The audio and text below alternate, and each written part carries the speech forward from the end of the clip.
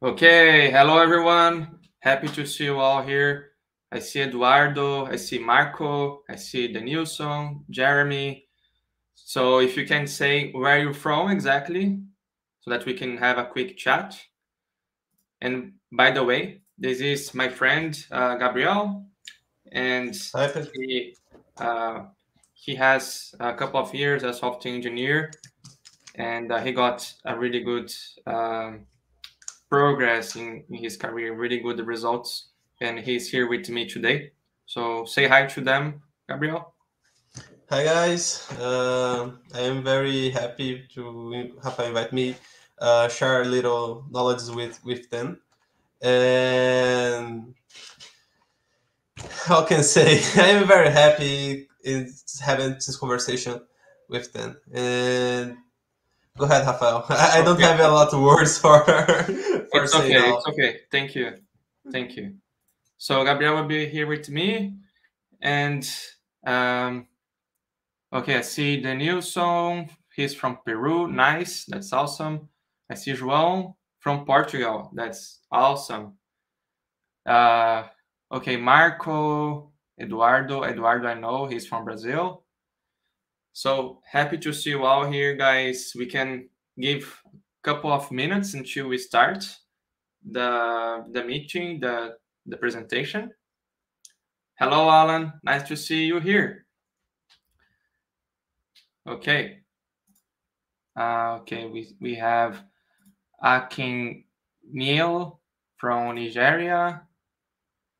Um, we have Alan. Alan will give a talk um, after my presentation, so stay tuned to see Alan.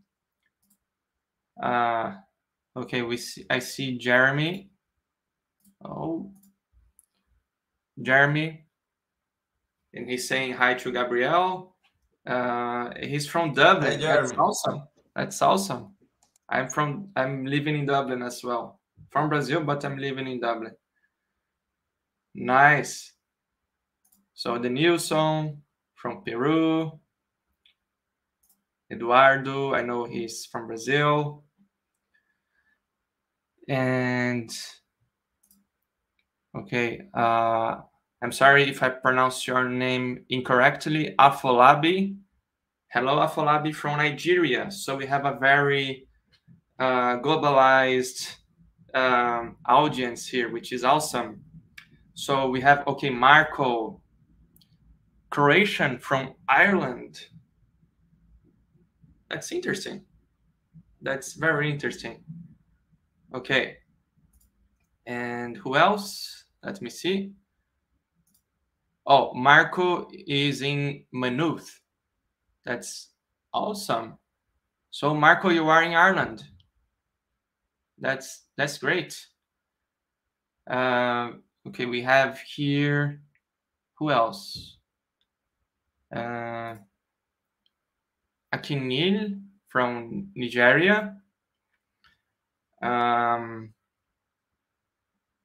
okay, guys. So if you want to talk a little bit about your challenges, about your career challenges, we can start uh, discussing a little bit. If you can, uh, if you want to ask any question, feel free to ask so that we can get started. I think we have a good amount of people already, which we can get started. But if you have any question so far, just uh, shoot it. Okay, we have Bruno. Nice. So Bruno Pinheiro is uh, Brazilian, but he's living in Portugal. Awesome. That's awesome. Nice. So Eduardo is from Brazil as well, and he's living in Porto. Porto is awesome. I've been there. I love the city. I have a couple of friends there. It's fantastic. It's beautiful. Uh, I really like the Ponte do Luís. If you have an, uh, a chance to take a look on the internet, it's a very beautiful place. So yeah, that's awesome, guys. So uh, we are here uh, for five minutes.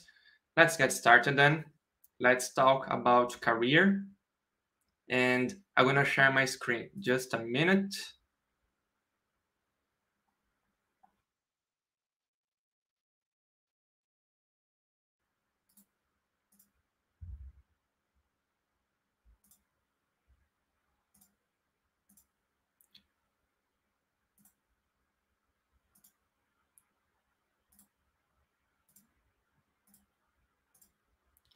Okay.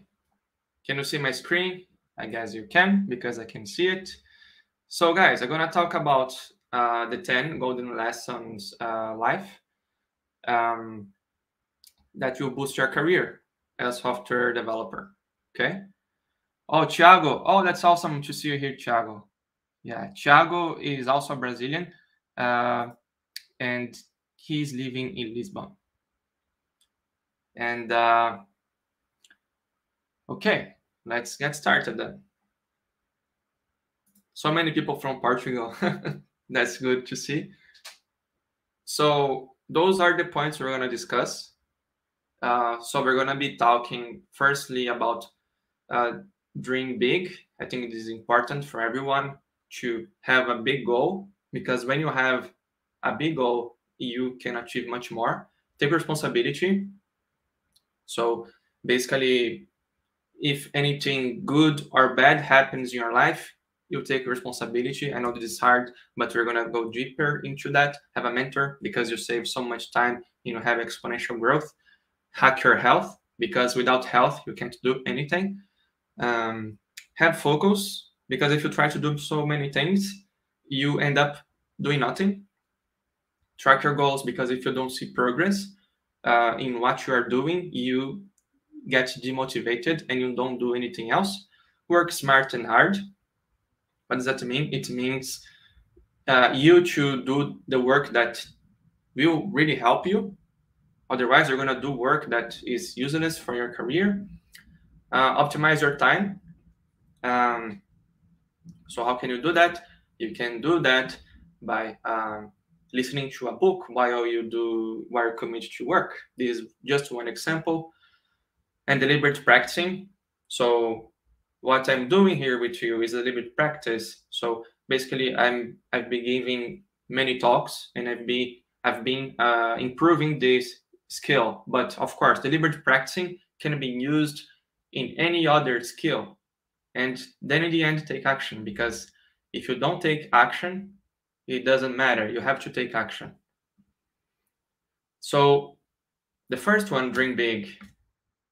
So the first thing you have to get clarity about what exactly you want in your life. So you need to think, okay, uh, what does what makes sense for my life? What will me, will make me happy? What uh, will bring me joy? You probably know a couple of things that bring you joy. Uh, and you know, in software development, there are so many things and probably there is one thing there, there are a couple of things in software development that really motivates you, that really um, makes you um, more uh, more joyful and you want to study more. For example, let's suppose you, you like to create high quality code. Probably this would be something that you are passionate about Therefore, you want to work for a company where you can use those skills. So the first thing is to reflect about yourself and write down what are the important long-term goals. So you have to figure this out.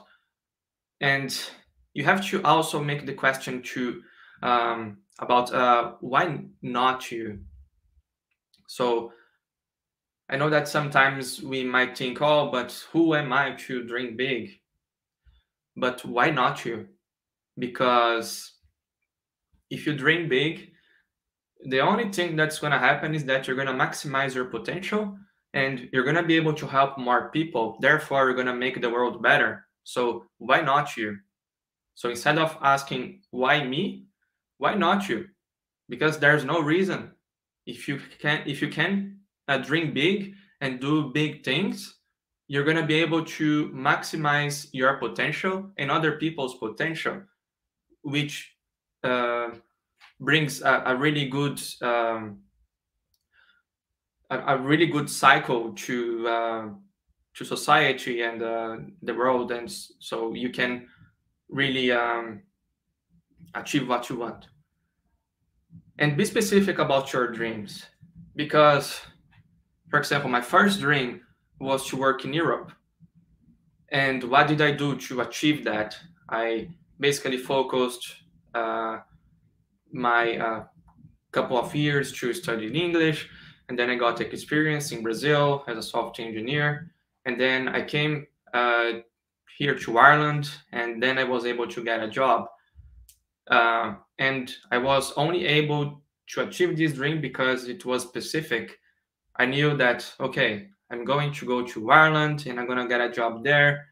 There was a couple of, there's a couple of reasons for that because here's a country where uh, the official language is English, and I've been working in English with English already, so that would be a good uh, entrance door to me. So that was a first dream. And remember one thing, uh, which is that when you achieve one dream, there will be other dreams.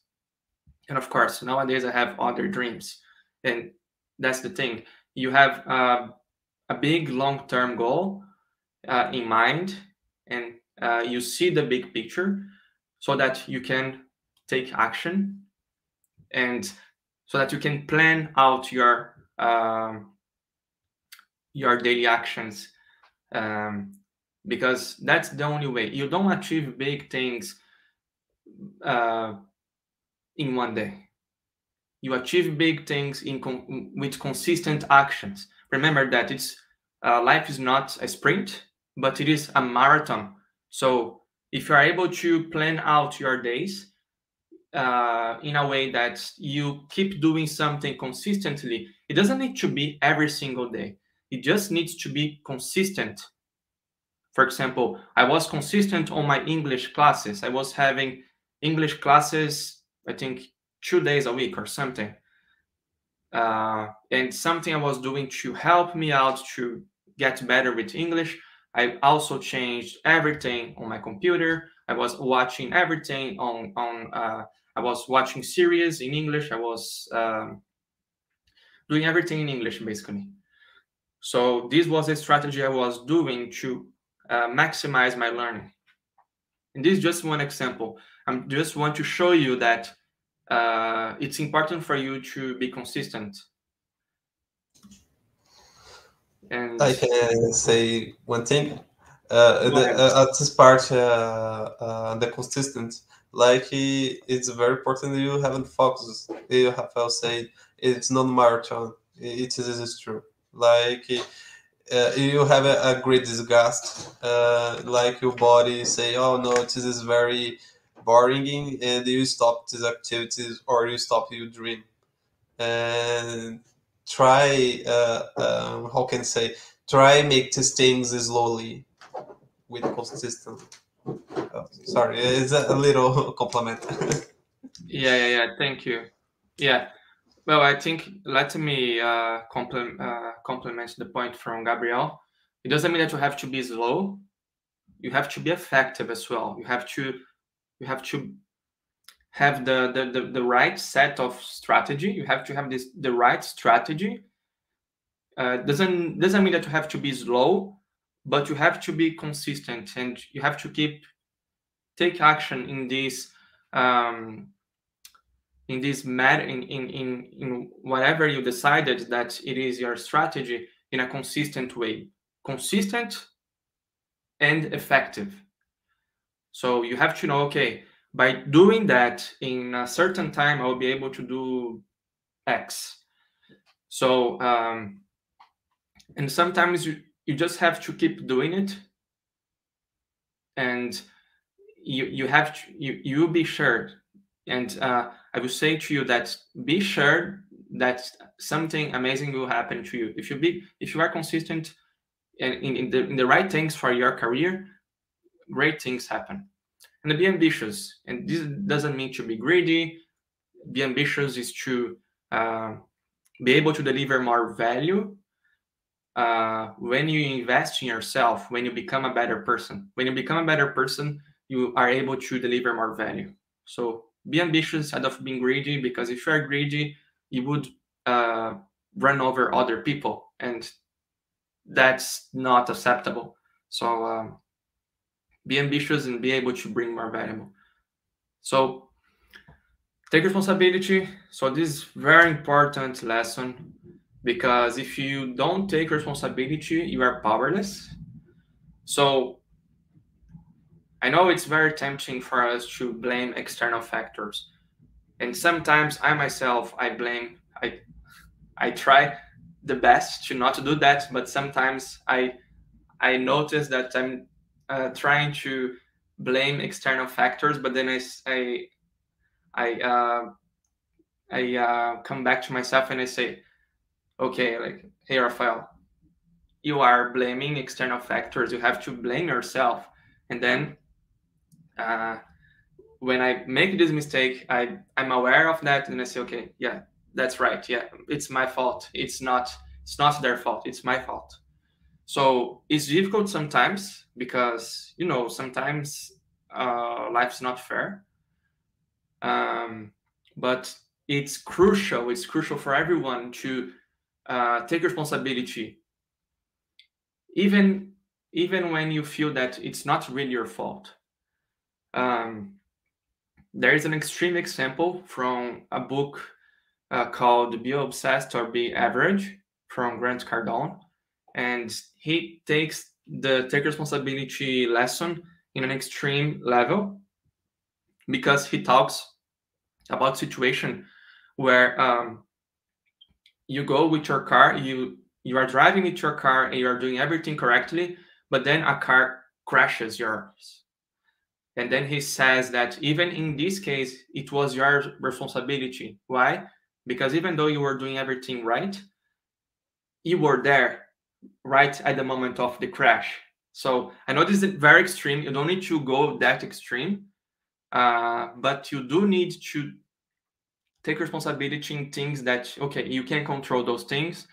Therefore you have to be responsible. Can give you a very simple example. Uh, you can say oh but i've never got promoted in my job. Ah this is my boss fault. Like it's all his fault. It's the fault of my uh, my team and it's never you what's the problem of that the problem is that you are always powerless so if you are blaming your manager if you're blaming your team you are powerless. You can't do anything. You can't control other people. You can only control yourself. So that's the thing. So when you want to get promoted, instead of blaming others and assuming that you are powerless, you blame yourself and you say, okay, there must be something wrong I'm doing here. What can I do different?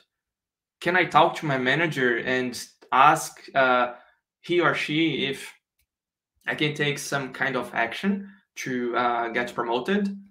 Or uh, can I change jobs? Can I study a new technology and go to a job that I think I deserve better? So be extremely careful with uh, blaming external factors because there will be always external factors and we can make up 1 million excuses and not take any action. So it's very easy to create excuse uh, but it's very important for you to keep this mindset. Okay, it was my fault. What can I do here to uh, improve the situation? So try to keep this mindset because this will give your uh, your power back. You won't be giving powers to others. You, if when you take responsibility, you are powerful. And avoid the mindset of complaining because the more you complain the more negative people you're gonna uh, attract for you and then you're gonna get addicted in complaining in um, not seeing what solution you could implement for a certain situation which is not good so don't complain avoid, avoid complaining and think always about something you can do. Like this example i gave you if you get if you want to get promoted why not talking to your manager? Why not talking to your team members and maybe asking for feedback and see where you are making a mistake? What can you do to improve? What consistent actions you have to take to go to the next level? Because like i said to get better it's a big mistake that uh, uh, sometimes we think oh to get better it takes one day. No it's it takes it's a process. So you have to create a strategy and then you take action on this strategy you created. For example, let's suppose you want to learn more about microservices, to be able to do more uh, valuable work in your job. You create a plan. I don't know you can find courses you can find a book you can find whatever kind of material you want and then you set a very a very simple plan. You can uh, maybe read this book uh, 10 minutes a day or 5 minutes a day. Or if you think it's too much maybe uh, 10 minutes uh, one day uh, you can do, uh, read 10 minutes the other day you don't do anything and then the other day you read 10 minutes. Whatever works for you. So you have to elaborate a plan to get uh, the result you want. And be solution oriented. So instead of complaining instead of blaming others try to see okay this good thing happened. I take responsibility for that. Or this bad thing happened to my life and i'm responsible for that but this is a solution i will uh, work on. And then you work on the solution um, then you solve the problem. So the thing you can't be is to be desperate. When something bad happens in your life i know something sometimes it's very difficult because heavy stuff might happen in your life uh, in my life as well in everyone's life. Uh, but try to keep calm on those times because uh, if you are if you keep calm when things go bad you are able to take action. Otherwise if you are desperate you can't take any action because you can't even think. So um, try to be solution oriented have a mentor. Oh. this is so important uh, I say a little bit about have a mentor. Go ahead. It's, it's yes, have a mentor. okay, uh, so, uh, guys. Yeah, go ahead. You, you can start. Yeah, go ahead. Go ahead, Gabriel. Oh, okay. Um, I I can say many things about uh, a mentor, and I get three points more or less, and I share my experience with mentor. The first is if you have a mentor, you have a, a, a sex as a network you mentor.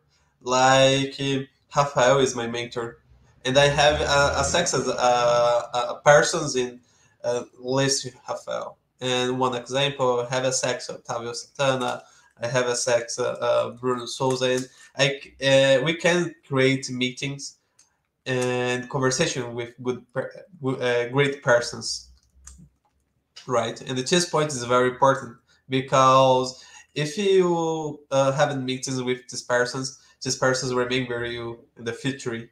And if you remember, you have the probability entry in a new company or entry in a new project or make any any activities in the the world, right? And the second point is very very cool in my opinion. It's a knowledge uh, your mentor you directions uh, to to learn. Like in my case, uh, I, I'm in starting my mentoring with Rafael. Uh, I was very very lost.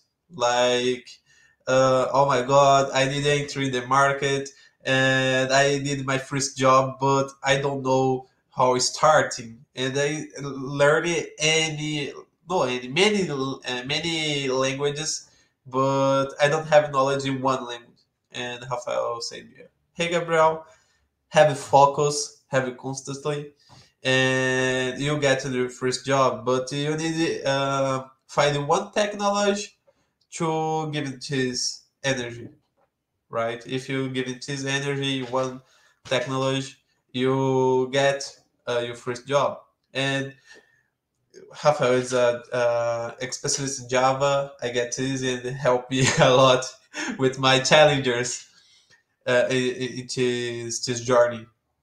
And uh, um, last point, it's a very very nice point, is educations and the recommendations. Uh, if you have conversations with your mentor or or friends your mentor, then remember you and this is very very cool because if the persons remember you, you get good opportunities.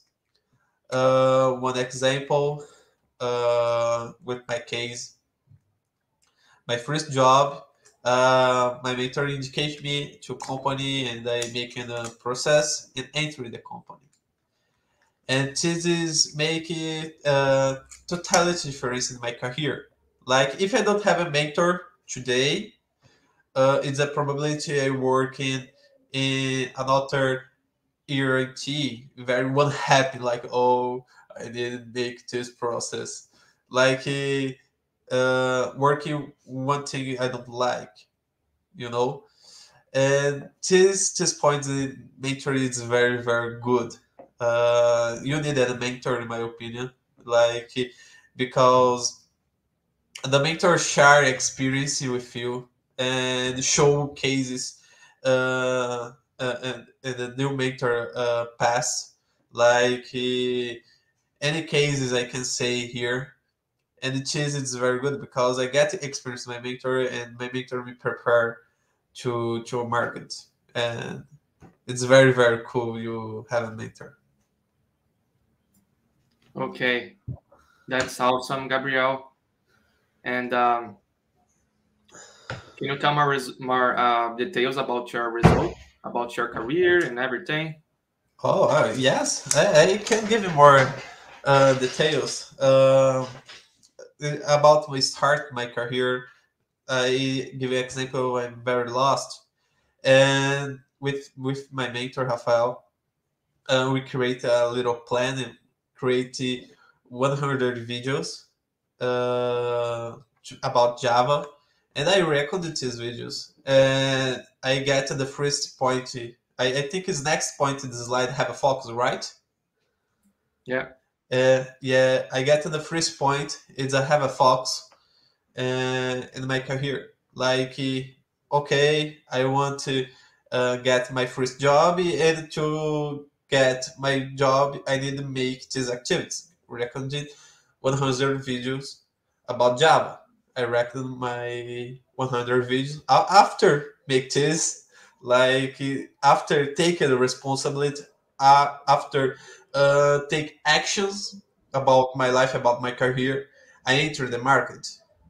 Right? Yeah. uh, after after uh, uh make this these actives but it's it's it's at the first point. point and have another point one example uh, after recording these videos uh, I have uh, a lot meetings uh, with a, great persons in the market, and with this, uh, this person's recommendation to give talks and international events like uh, participate and in the campus party, uh, participate in the cloud conference day. Uh, I participate in big events because this, uh, because these meetings I have with uh, Rafael and the, and the friends, and because these people see my actions, see my activity in the community. In the, exactly. Yeah. Like, yeah. Go ahead. Like the fusion both and created this. And today I am uh, working the software journey Accenture entry to recommendation. Uh, making the process yeah. norm- normally and with this I, I, I how can I say i realize big dreams yeah. uh, travel to ireland uh, giving talks in english uh, is uh, recognition the community and any any things but i i say one thing guys if i don't have a mentor uh, to give a tips uh, it's a have a had a great probability I work would happen in another uh, sector in ET. Yeah. So thanks a lot for uh, telling us about your experience, Gabriel, because you are uh, uh, a proof, a living proof that yes, uh, having a mentor big makes a big difference. Now, I myself also had a mentor and I was kind of lost. Uh, I was I was focusing too much on technology. And I thought this was the, the way to get to the next level in my career. And it turns out I was wrong. I mean, don't get me wrong here. Technical knowledge is extremely important. Don't I don't want you to get me wrong. Don't think that technical knowledge is not important. It is extremely important. The problem is that I was focusing only on technical knowledge. Yes. And my mentor, uh, Bruno Souza, he was able to show me that it's not only technical knowledge. Yes, again, technology knowledge is extremely important, but it's not everything. So if you uh, learn other skills, uh, that's, uh, for example, uh, the skill of communication um, and uh, the skill. Sorry.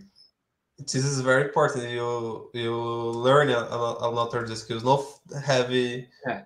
The one skill like well, I am king, king into the skill. You Exactly. need uh make it uh, uh how can I say uh improve another skills. Yes. But try Yeah. and get a, a good level in one skill and after good level in one skill you start another skill. Yes, and that's because um,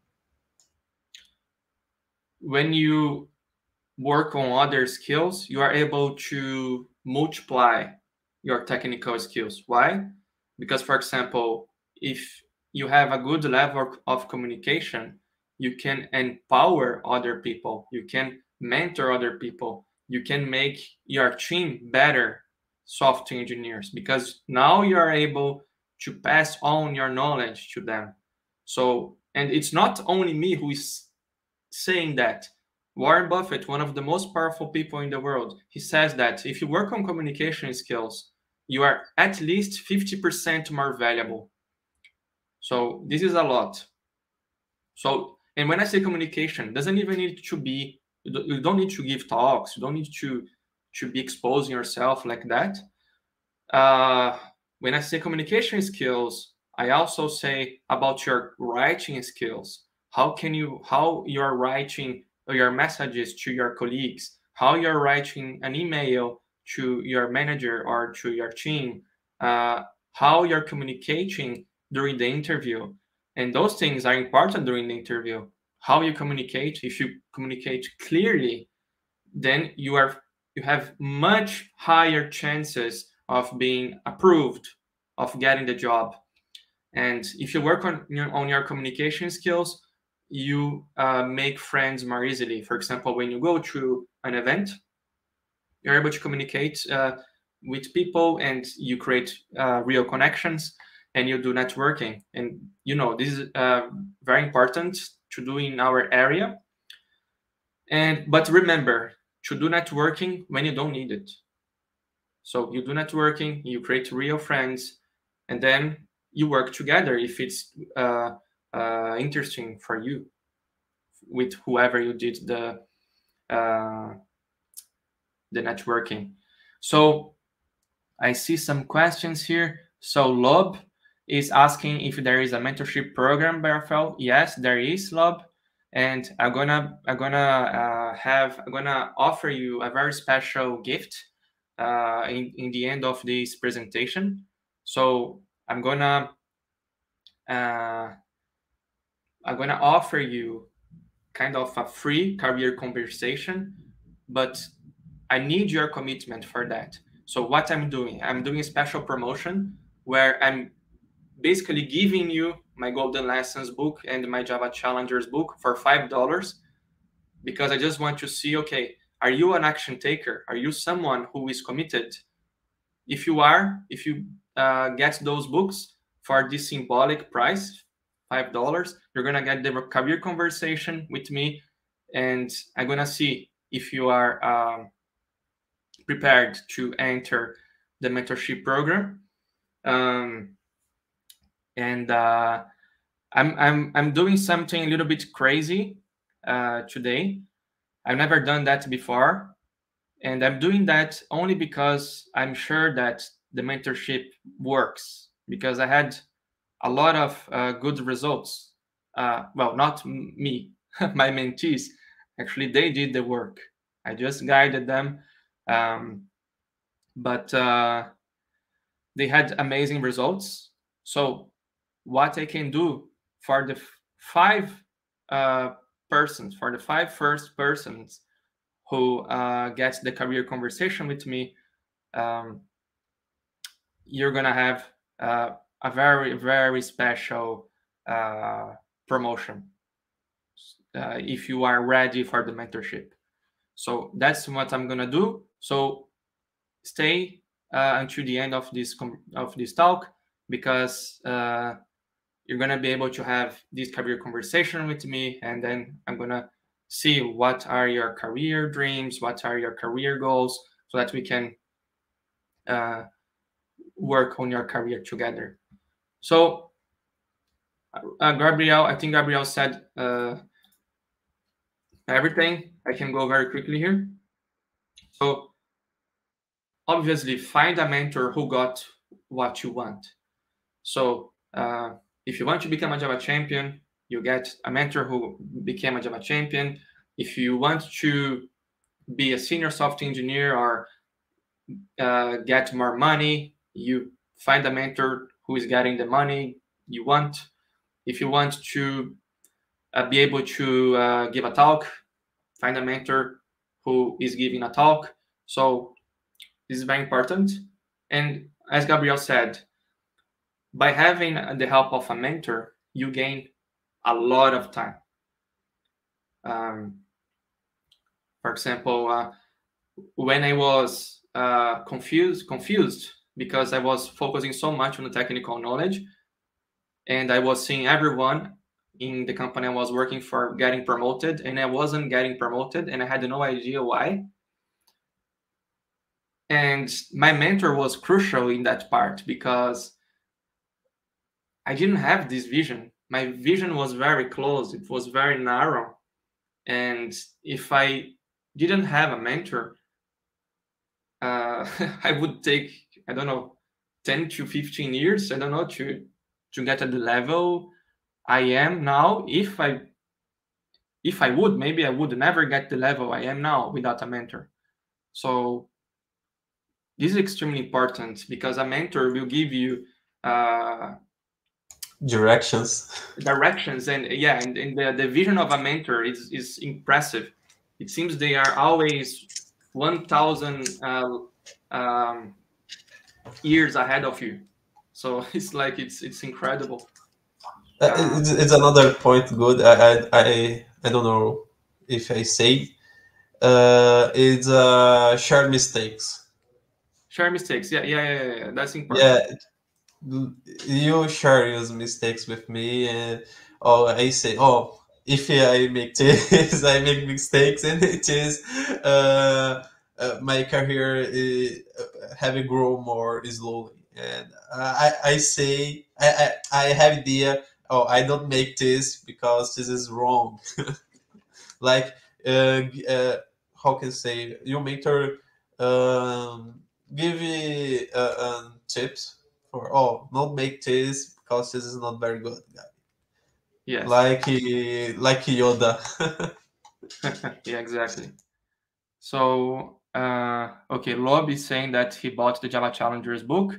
Uh, you're gonna get the golden lessons book if you don't have it lob um so you have you, you're gonna get the golden lessons book as well okay so let's continue. Hack your health. So why is important? Because without health, you're not even allowed to live in this world. So uh, your health should be your top priority, should be on top of everything. Because if you focus only on your career and forget about your health, what's going to happen is that even though you're going to have, you're going to be more likely to be I wouldn't say that you wouldn't be more likely to be successful in your career because there are a lot of benefits of doing exercises.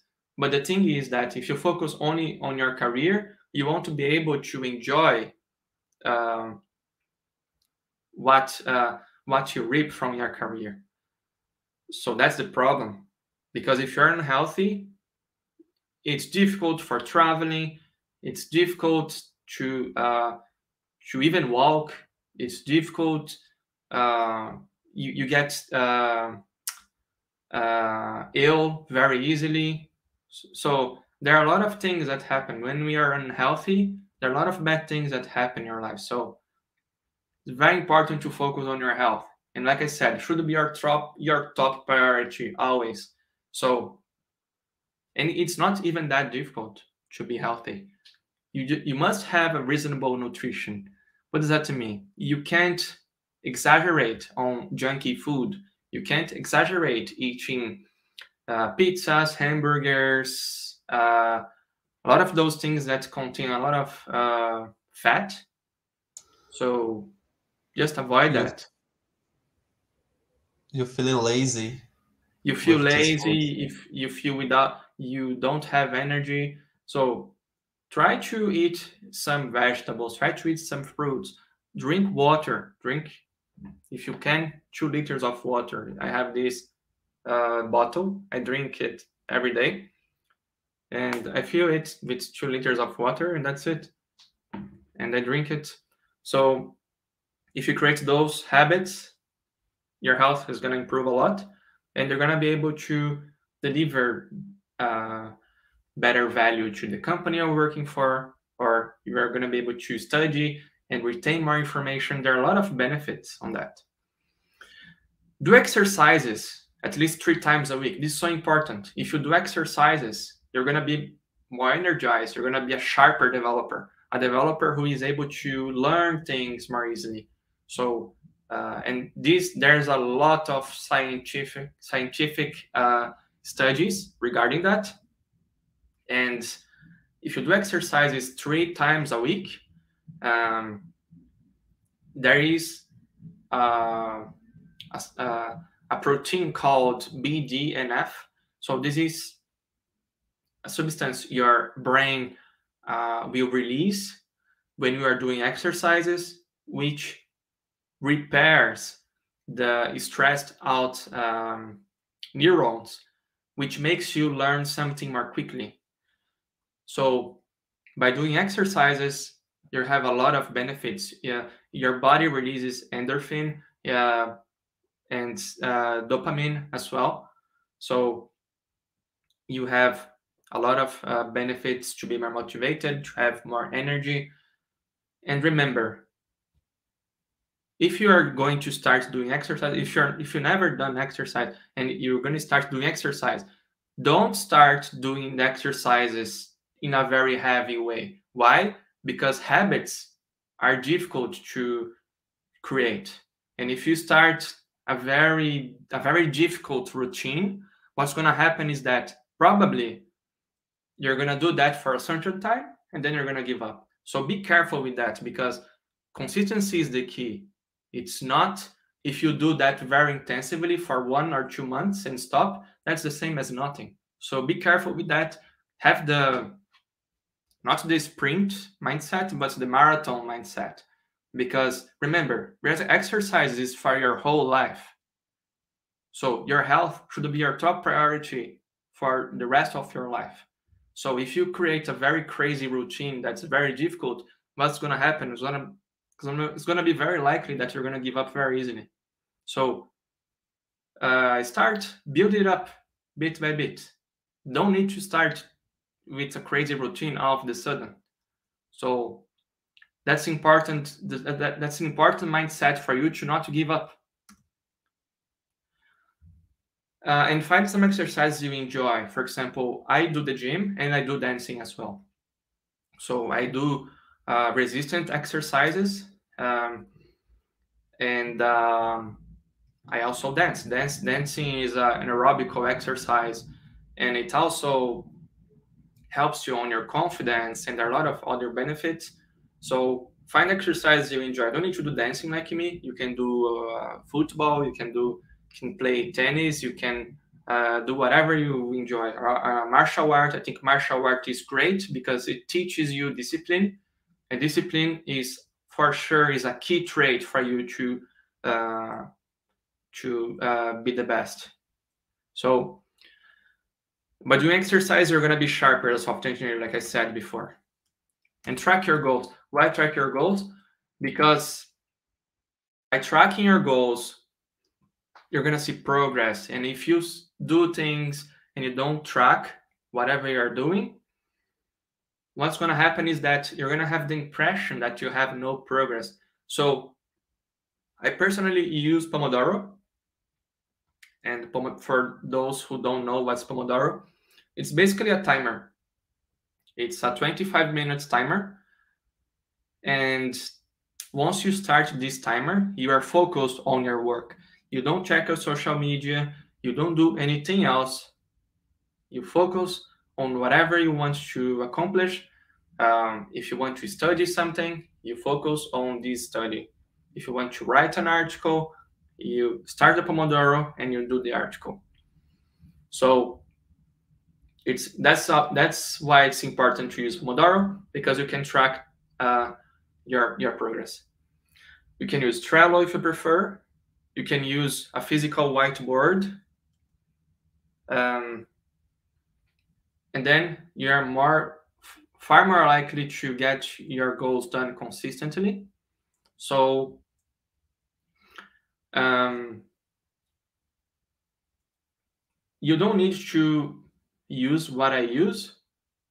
You see, you have many uh, tools here available. You can use Pomodoro, you can use Trello, you can use Whiteboard. And the important thing here is not to use the same tool I, I use. The important thing is for you to take action and uh, and uh, have progress on your goals and have focus. So why it's important? Because having too many plans will usually take lead you to no action. So one technique I use to accomplish big things in a year, I have the big five um, strategy, which is basically five big goals I want to accomplish during the year. And then it's very simple. It's not complicated. I write down about those five big goals I have. And that's it. Uh, then I know, okay, those are the big things I want to accomplish in this year. And that's my goals. So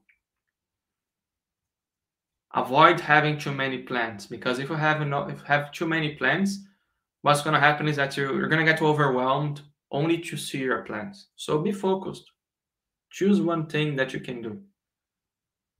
And instead of having crazy plan with so many things to do, no, you focus on that thing. that's it. And you see, uh, Warren Buffett also follows this rule, and he's one of the most successful uh, people in the world.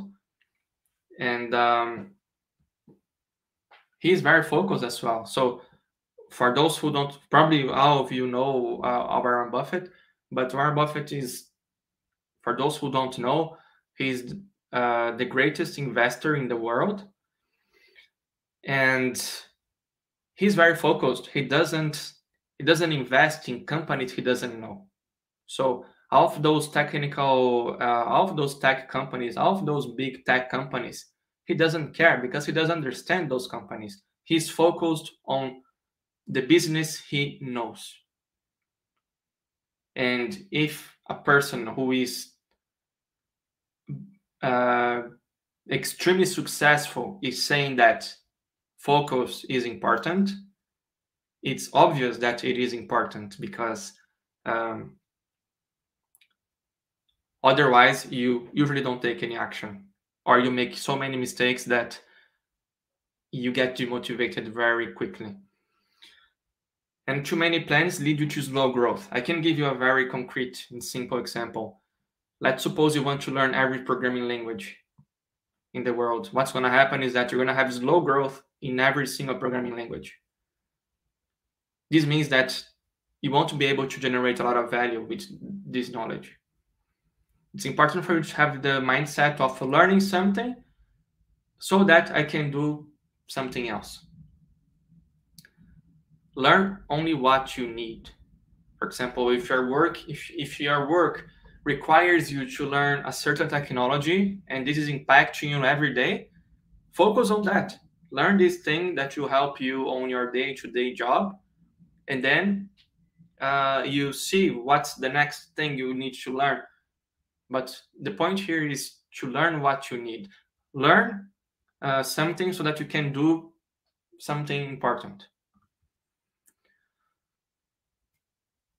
And use the just in time learning technique because, you know, in the microservices era, there are so many things we have to know that sometimes it's just impossible to know everything beforehand. So, uh, but you can get uh, a task at your job and you can use the just-in-time learning technique because we have internet. So whatever whatever is the technology, whatever is the problem you're solving, you're gonna find information on the internet and you're gonna you're gonna be able to learn on your own like I said, there's a special gift for you. So um, you're gonna get the Java Challengers and the Golden Lessons book for a symbolic price, only five dollars, and then you're gonna get the career conversation with me to talk uh, about your career challenges, so that we can work together on your career. And work smart and hard. So what does that mean?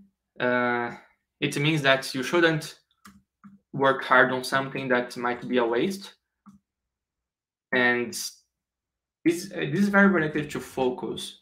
If you're focused on the right thing, and if you're doing work on this right thing, then um, I think it's great. But I, the best, uh, uh, the, the, the, the best thing you can do is to work smart and hard because if you want to grow a little bit more quickly, if you work smart and hard, you have your growth a little bit more quickly.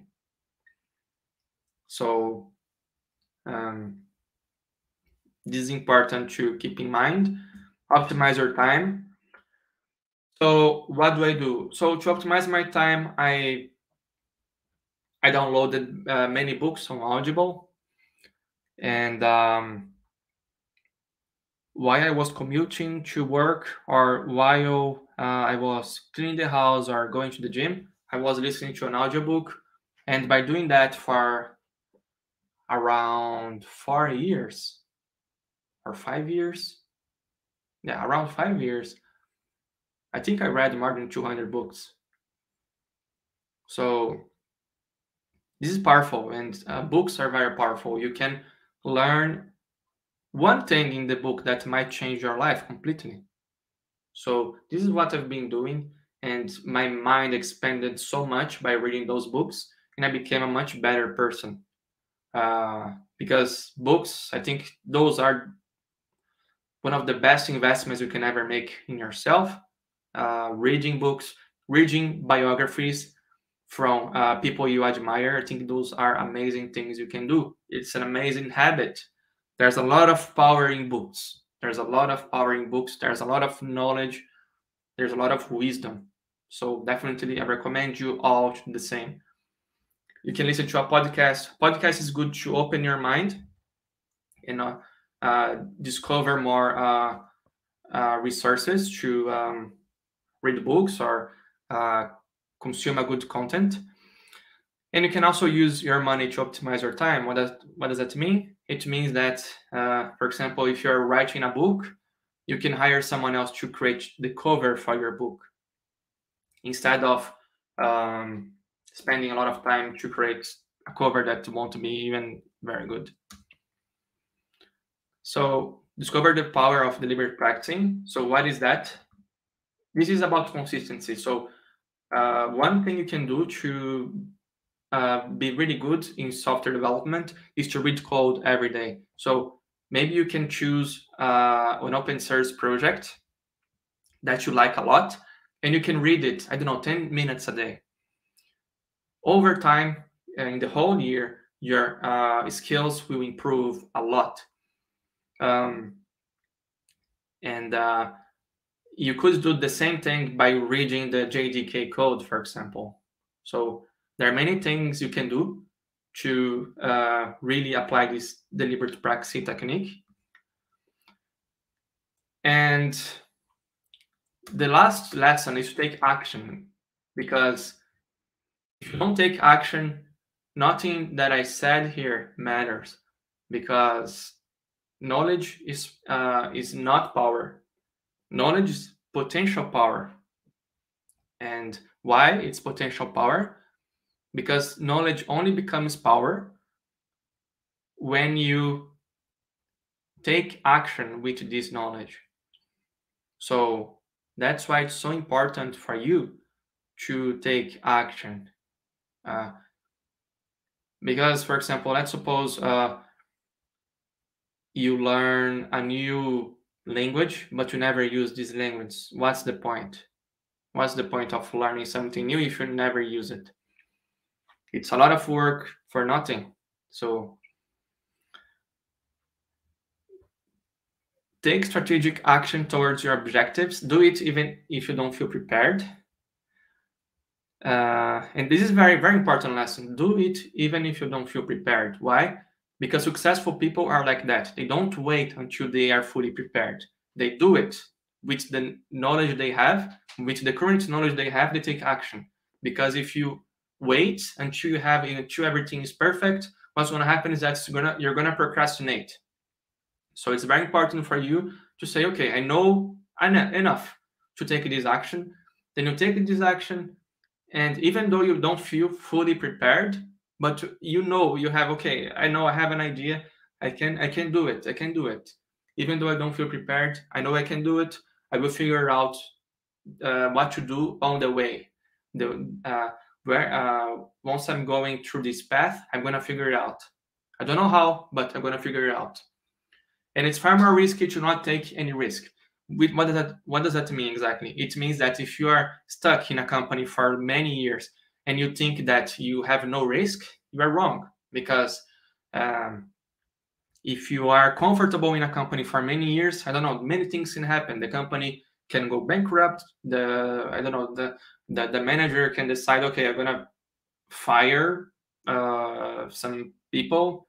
A lot of things can happen. So it's far more risky to not take any risk. It's far better for you to be always prepared, be always sharp for the market. Whenever uh, possible, so that you can be highly employable. And then doesn't matter if you are fired, it's okay. You are highly skilled. You are you are someone who worked a lot in yourself. That won't be a problem. So, oh, I guess a little point about take action. Um, guys, uh, I have, I have one farce. It's very cool. Uh, bad make it's better. It don't make like make it it is activities. You don't need make this with perfection, but if you make, you get action to make this thing. You enter into this. Uh, how can I say it is looping and okay i make this it's not very well but the next time i will make it better and get a good level this thing uh, like don't don't have fear and make these activities. Like i'm very i have a lot fear here. My my hand is very uh, sore uh, because it, so sorry? Your hands are shaking. Yes, my hand shaking because English is not my first language. Yeah, that, that's a great that's a great example. Yeah, I think Gabriel had, we have a great example here. So even though Gabriel don't doesn't feel fully prepared for doing that, he's doing it, and done is much done is much better than perfect. Alexandre is saying here, yeah, done is better yes. than perfect.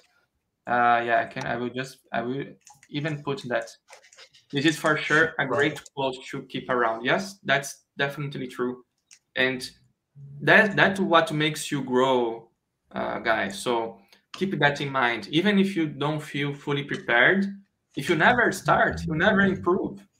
So Gabriel improved a lot since the first talk he gave with me. He's much better nowadays. His English is much better. He's so he's growing. But the thing is, the trick is that he has to take this action, even though he doesn't feel fully prepared for that.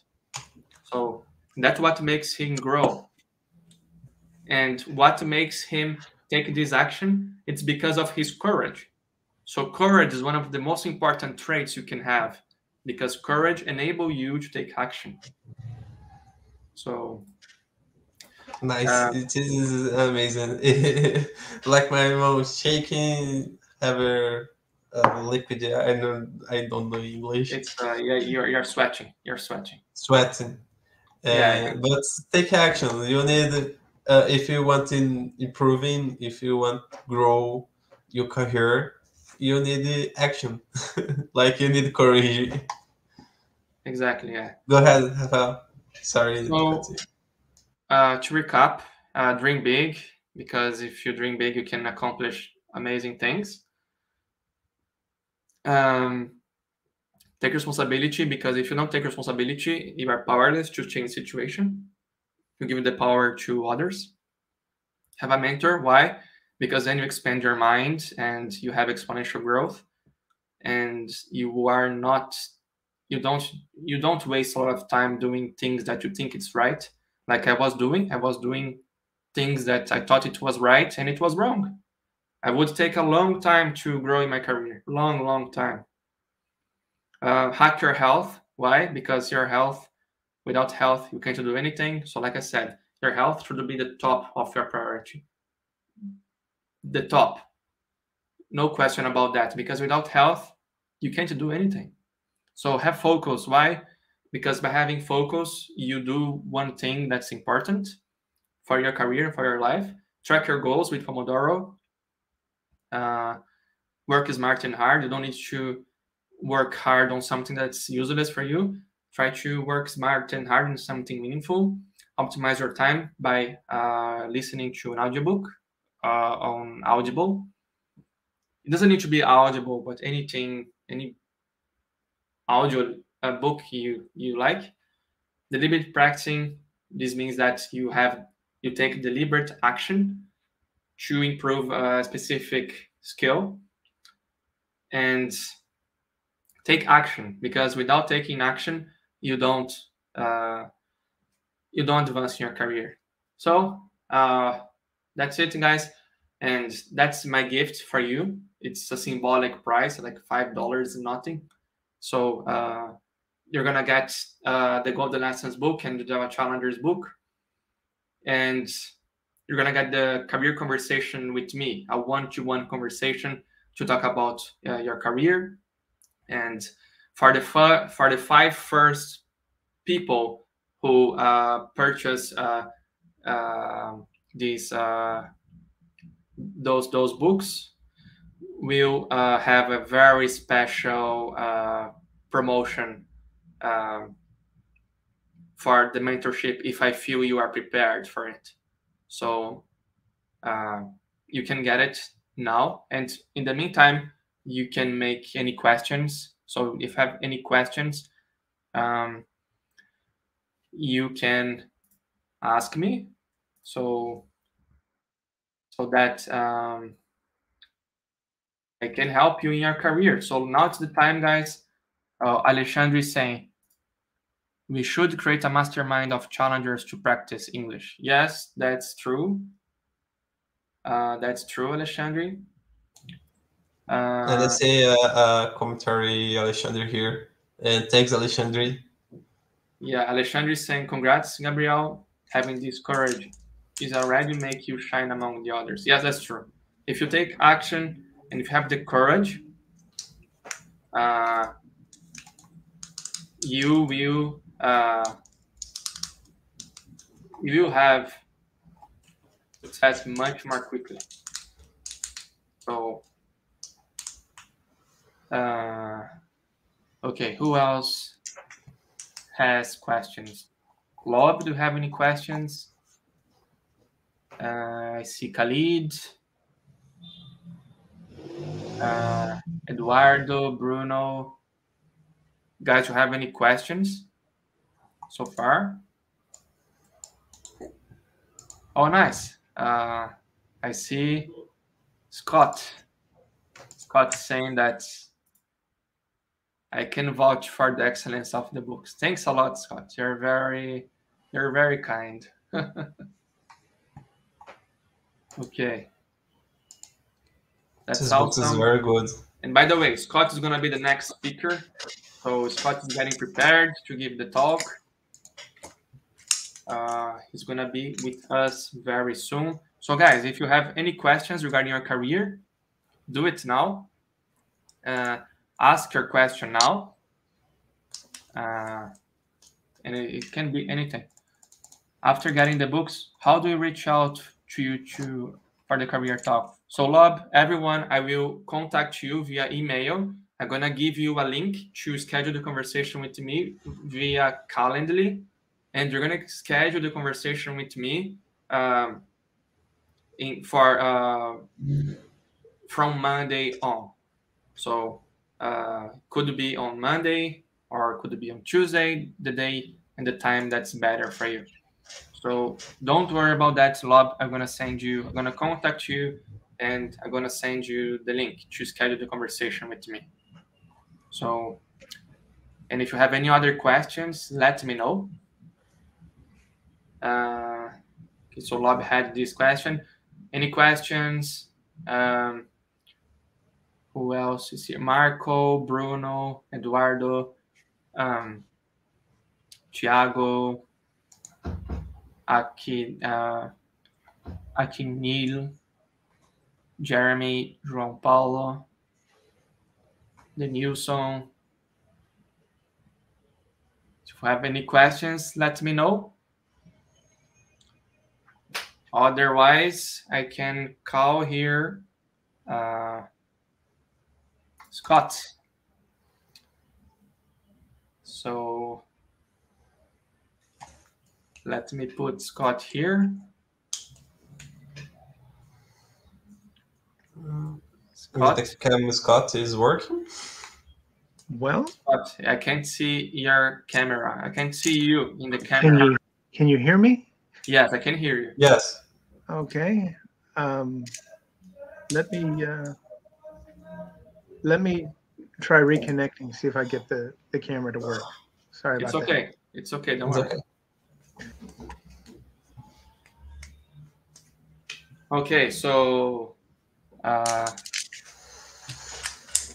Lob, who has a question about your career?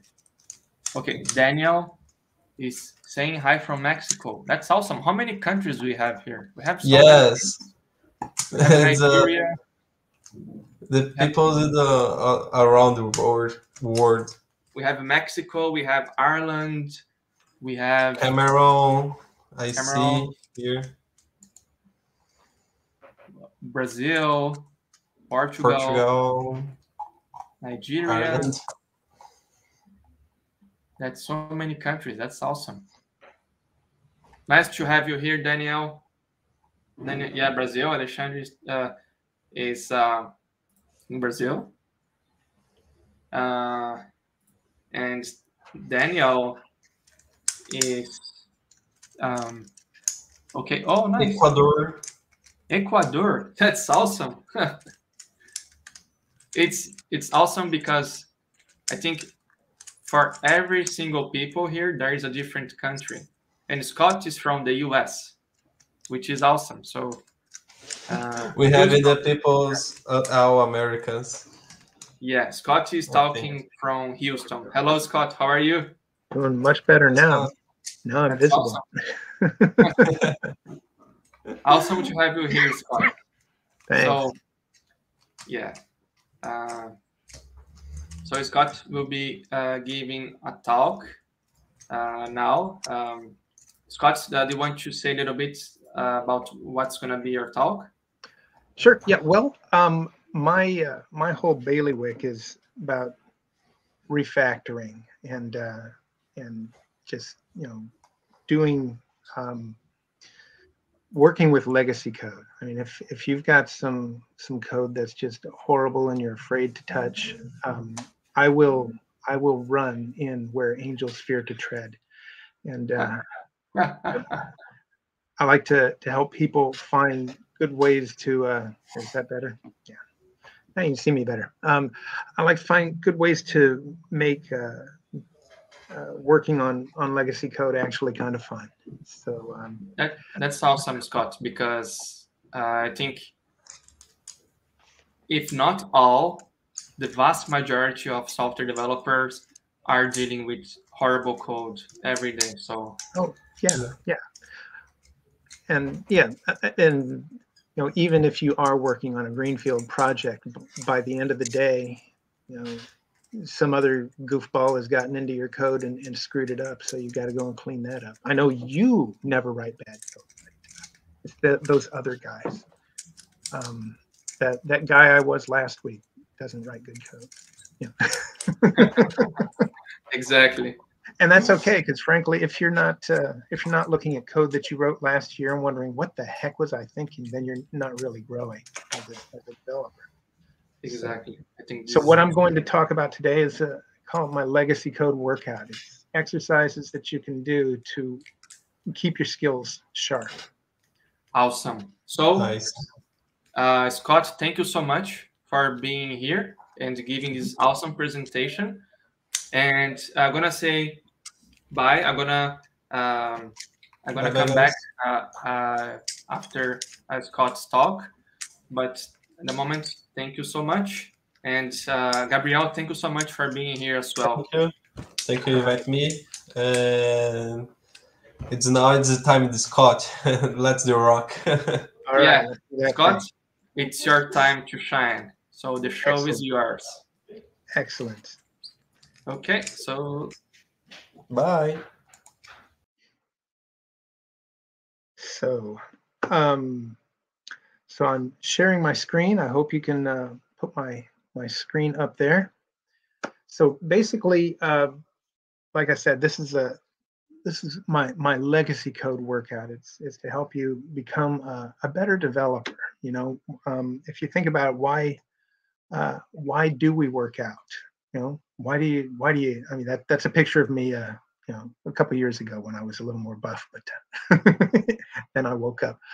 Um, but uh, no, the, the reason you, you you exercise is because you want to get stronger. You want to uh, you want to have better you know better health, better balance, and frankly make life easier. I mean, if your if your muscles are strong, it's easier for you to carry things, lift things, move things, do things around the house.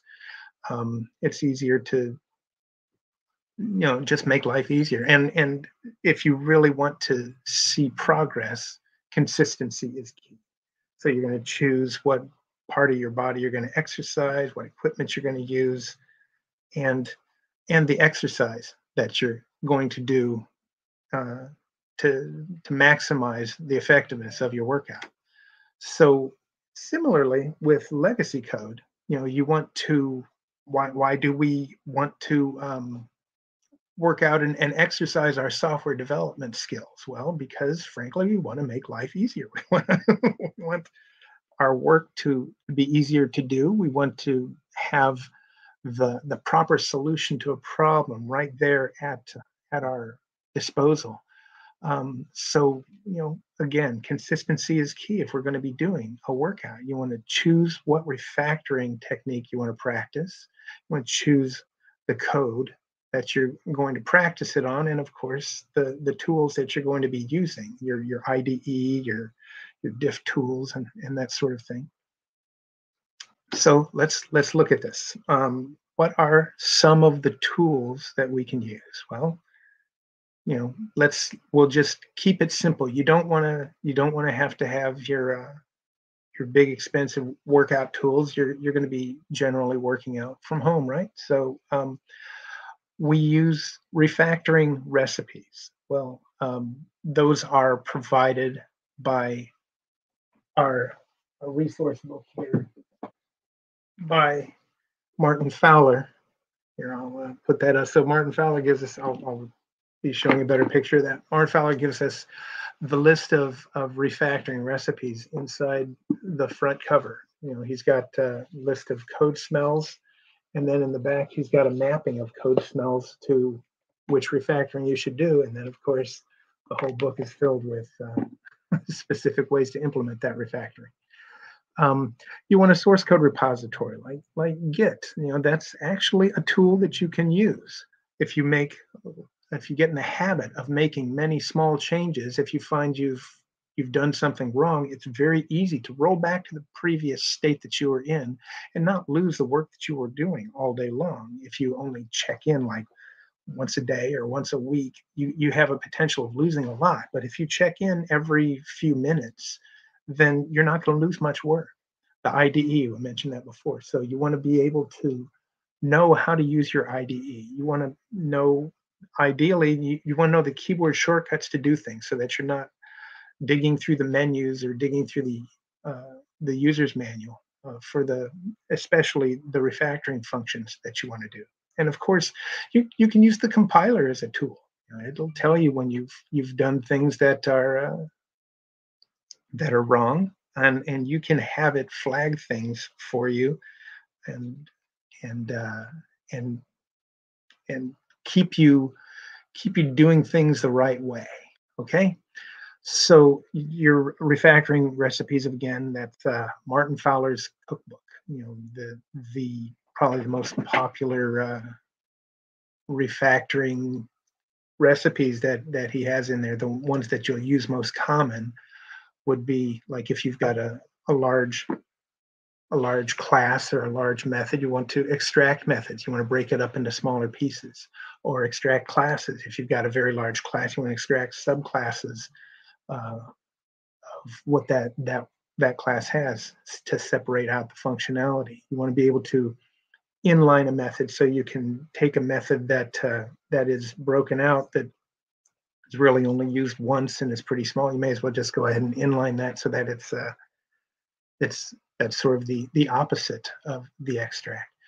Um, hide your delegates. You want to um, you want to basically uh, there are some parts of the code that are are complex. You want to just sort of hide that away into a place where you don't have to see it and, and give it a name so that you can call it and keep your code readable. You want to introduce a parameter object. If you find you're using a whole bunch of parameters when you're calling a function, it'd be best to be able to have a, an object that you can call uh, an object that you can populate to pass that along so that um, it just keeps things more readable as you're working on the code. You can introduce null object. Passing null is uh, is just a, a dangerous thing to do because you you're constantly checking to see is this null or not. Whereas if you're using a null object, you can just you know you you won't be doing the operation on an object that doesn't have anything in it, but you're not going to have to be constantly checking for a null. Um, you can replace a conditional with polymorphism. Um, what that means is basically if you have a bunch of if statements, that suggests that there are objects hiding in there that we can break out to have their own special functionality and let let the uh, object oriented nature of the language go and automatically do all of that checking for you. Again, it keeps the, the code easier to read and it, it makes it easier to maintain by doing that. And then, of course, replacing type code with a, a state or a strategy that's very similar to the uh, replacing conditional polymorphism. If you find by that you're you're checking to see if, if this is this kind of an object, then I'm going to do this thing. But if it's that that kind of an object, I'm going to do the other thing. Well, again, stick that into a, a separate object and, and take advantage of your polymorphism to uh, to clean that up, make it more readable and more maintainable. Um, so yeah, the the book that I showed you was was uh, the brown one. This is the original book that Martin Fowler wrote, and that's the Java version. He rewrote it um, a couple of years ago using JavaScript instead of Java because JavaScript seems to be used by more and more people and they need more help. And, and frankly, the refactorings haven't changed a whole lot. A lot of the refactorings that he uh, created in the book are now automated refactorings in your IDE. So again, if, if uh, you should want to, to use those, it makes it much easier. You can go online to his refactoring.com site, and he's got all of the refactorings in there. Uh, if you don't want to buy the book, the book basically shows you the examples of how to implement that refactoring. But if you have an idea of how that should work, then uh, you just go straight to the catalog there and have a, a, quick reference. Frankly, I'd recommend you get the book and, and work through it. It's uh, it's uh, it's helpful having all of that um, in there. Before you can get to the refactoring, you have to know what the code smell is, right? Uh, code smell is basically uh, it's a section of code that just you, you know it, there's something wrong with it. You know, a large function. If you have a function that's you know a couple of hundred lines long, then you know that it's it's probably doing too much and should be broken up into into smaller pieces.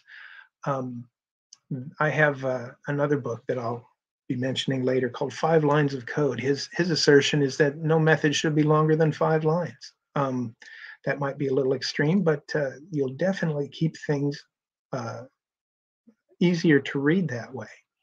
In Uncle Bob's, um, um, what's his book called?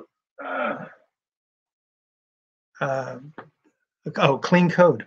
Yeah, he talks about how um, basically your your code should be all your code for a method should be able to fit on your screen. Um, that makes it easy to follow, and you're pretty confident that it's only doing one thing. A large class. Again, I have some classes that I work on in my daily work that are over 5,000 lines long. Um, unless it's a like the string object in the uh, in the Java specification there, um, it's probably doing way too much and needs to be broken up into smaller pieces. Again, we talked about a long parameter list um, that you'll replace with a, a parameter object. Um, if you have, Uncle Bob says that if you, you, you should generally have a single parameter. If you have two, you know, you can get away with that. If you have three, you need to really start thinking about uh, if it's doing too much. Um, and you might consider breaking it up into smaller bits. Inappropriate intimacy. That uh, that sounds nasty because it is nasty. It's basically when you are looking at an object and then that object reaches down into another object and that object reaches down into another object. So eh, you tend to have uh, what's called a God object that you pass around everywhere. Um, the the project that I work on has this database God object that uh, if you want to do anything related to the database, you pass this database object in. And there you can get all your connection info, and there you can get all your calls to any database queries. There you can get all of your uh, database um, configuration information, the, the different parameters that you have to set, and so everything is in this database object. The problem with that is that that database object, if any of it changes, I'm breaking stuff all over the code. So you want to be really careful about uh, your inappropriate intimacy where you have you're you're digging deep into an object to uh, and and and in that object and the sub object and the sub and sub objects that it's they they all contain so that you can get to a piece of data that you need. Um, that's just uh, that's setting you up for for um, having the code excuse me too tightly coupled and and it's going to be really hard to maintain that and and make any any important changes. Primitive obsession. This is where basically you're you're just you're passing around ints. You know what does an int mean? I don't know. Is it a size? Is it a shape? Is it a length? I don't know.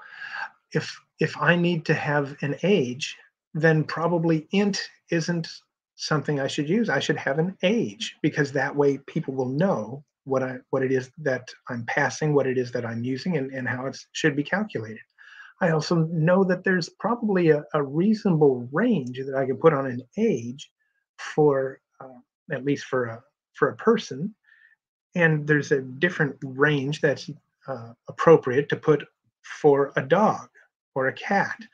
Um, so I can I can add some sort of range checking when I create or, or set an age value. I can't really do that with an int. An int can be a negative number or a positive number. Who knows? So um, that's what primitive obsession is. It's, it's you've got an object-oriented language. Use an object to describe what it is you're looking at and have it describe the appropriately the thing that you're wanting to use. You can also that way make sure in you know if you're defining a person you've got an age and a and a weight and a height you can make sure that you're not going to get your parameters confused because you can't stick an, a weight into an age slot because it's expecting an age. Um, a switch statement. Um, yeah if you've got a switch statement that's generally because you've got too many if statements. If you got too many if statements that generally tells you you've got an object begging to come out of there, uh, or, or, or a set of objects, some sort of polymorphism that, uh, that you can use to clean that up and simplify that. Not always, but in many cases, you'll, you'll, you'll be able to break out whatever that switch statement is trying to, to resolve into creating a, a replacing that with with polymorphism or your your strategy object strategy pattern. And of course, the thing you probably see the most is duplicated code. How does duplicated code get there? Well, I need to add a widget to my to my project, and this widget looks a lot like a previous widget was that is already there. So what I'll do is just copy that previous widget. I'll fiddle with a couple of things, and then you know it it does pretty much what I need to, and uh, and I don't have to go and, and rewrite things. Well, that that starts leading you into having things get out of sync. If I go and make a change to the original widget because there was a bug there, that change doesn't get propagated to anything else that was copied from it. And that's where you start having all kinds of problems. If you find yourself making a copy of something, step back and say, you know, I should probably create a, an interface and then a couple of different objects that inherit from the interface so that we can extract out the uh, the the commonalities and, and make sure that I'm not duplicating code.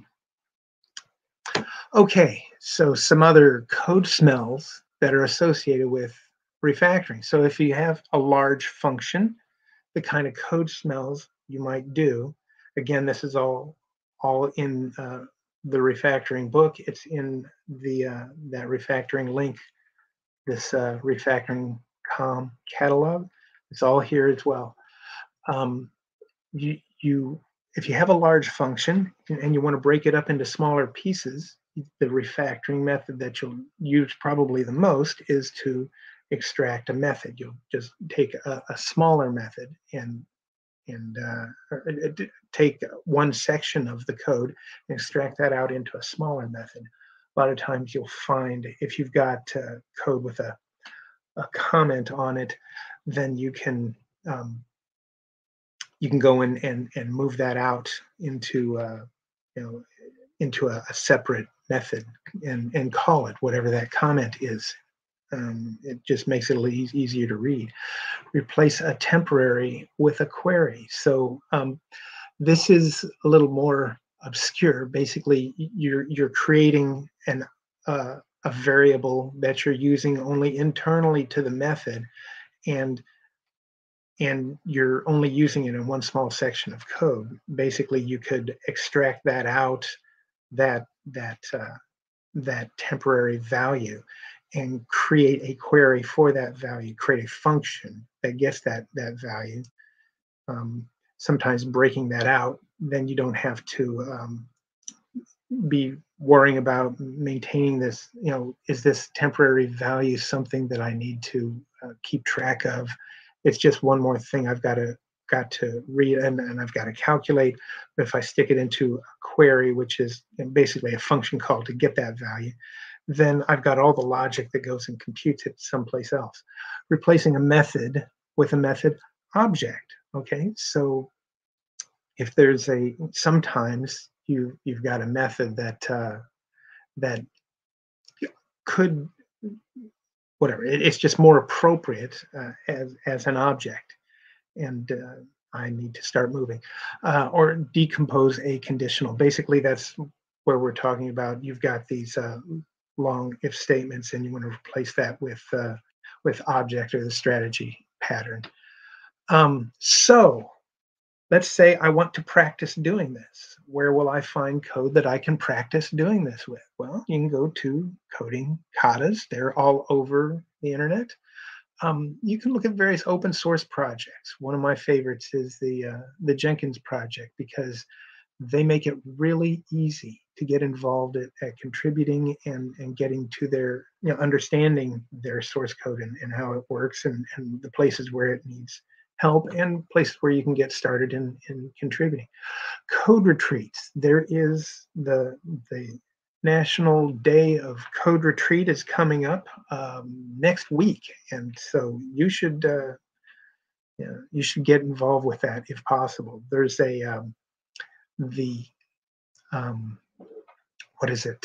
Calgary, Canada, has a group that does a, a week of code retreat. Instead of having it all in one day it'll, it'll probably be next saturday. So instead of having it one day you do that in uh, over over a week and they'll basically be a one hour a day. So instead of having one five or six hour session you'll have five or six one hour sessions it's pretty cool. Also various blogs discuss cool uh, refactorings and they they can provide you with the source code on GitHub, and you can go and fiddle with it yourself, following what they do. And similarly, in books, uh, I'll talk about uh, a couple of books that have some uh, suggestions of, of code that you can practice with.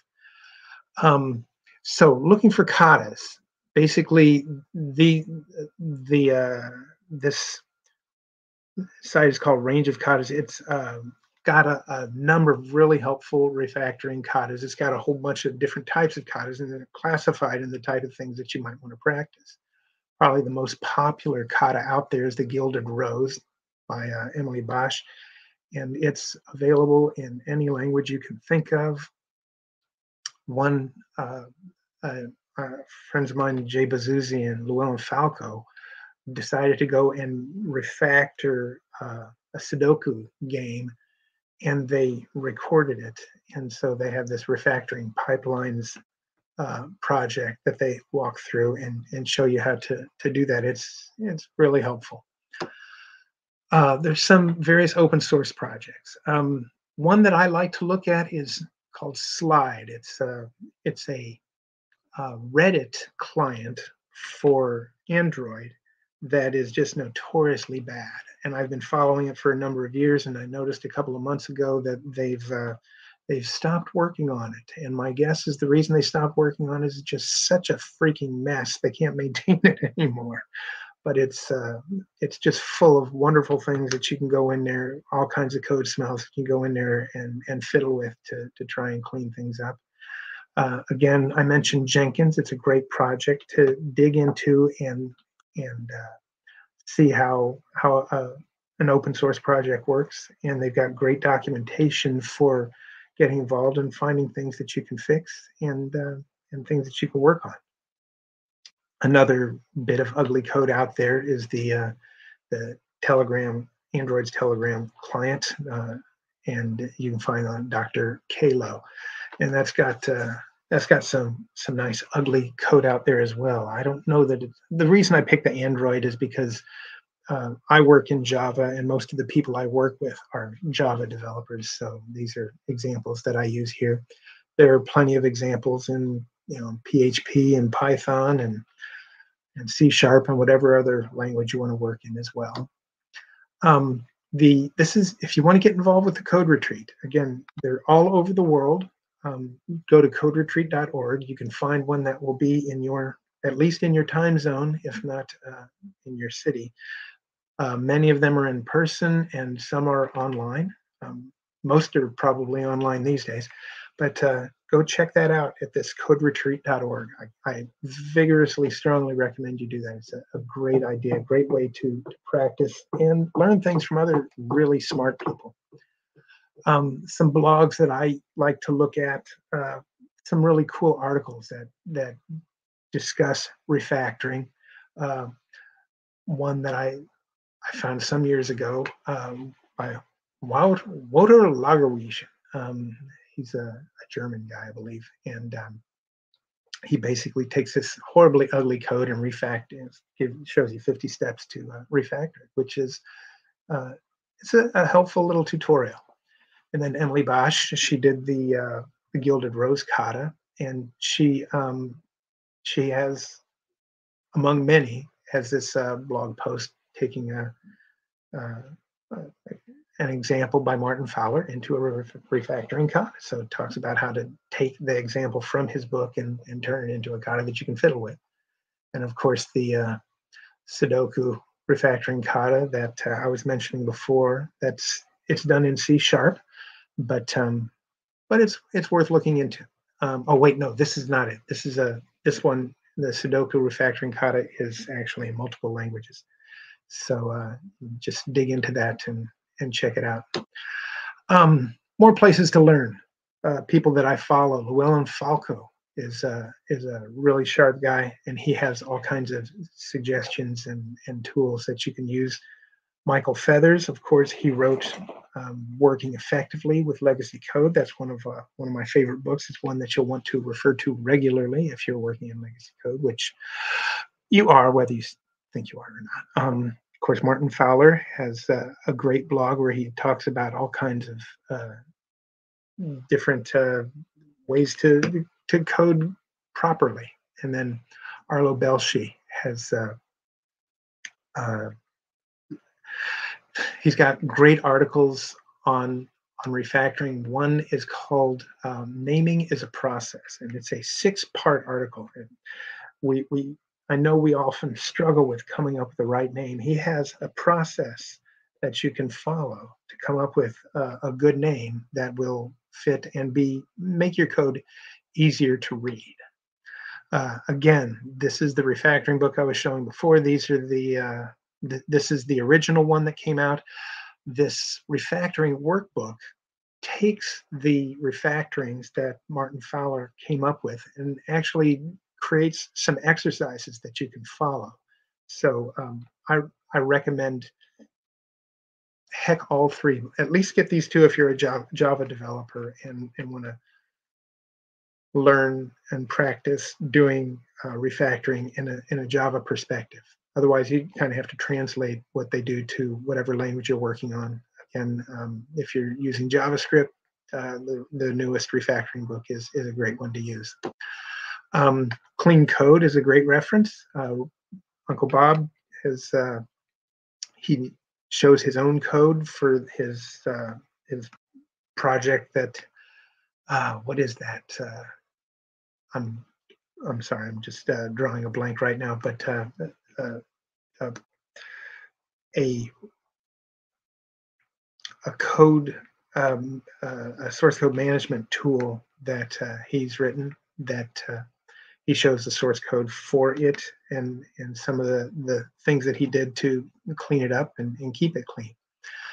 Um, this five lines of code by christian clausen is uh, a really handy uh, book that walks you through uh, a tutorial of refactoring code it's done in typescript but it's it's easy enough to follow the typescript is close enough to just about any object-oriented language that you want to use that you'll be able to to follow along quickly.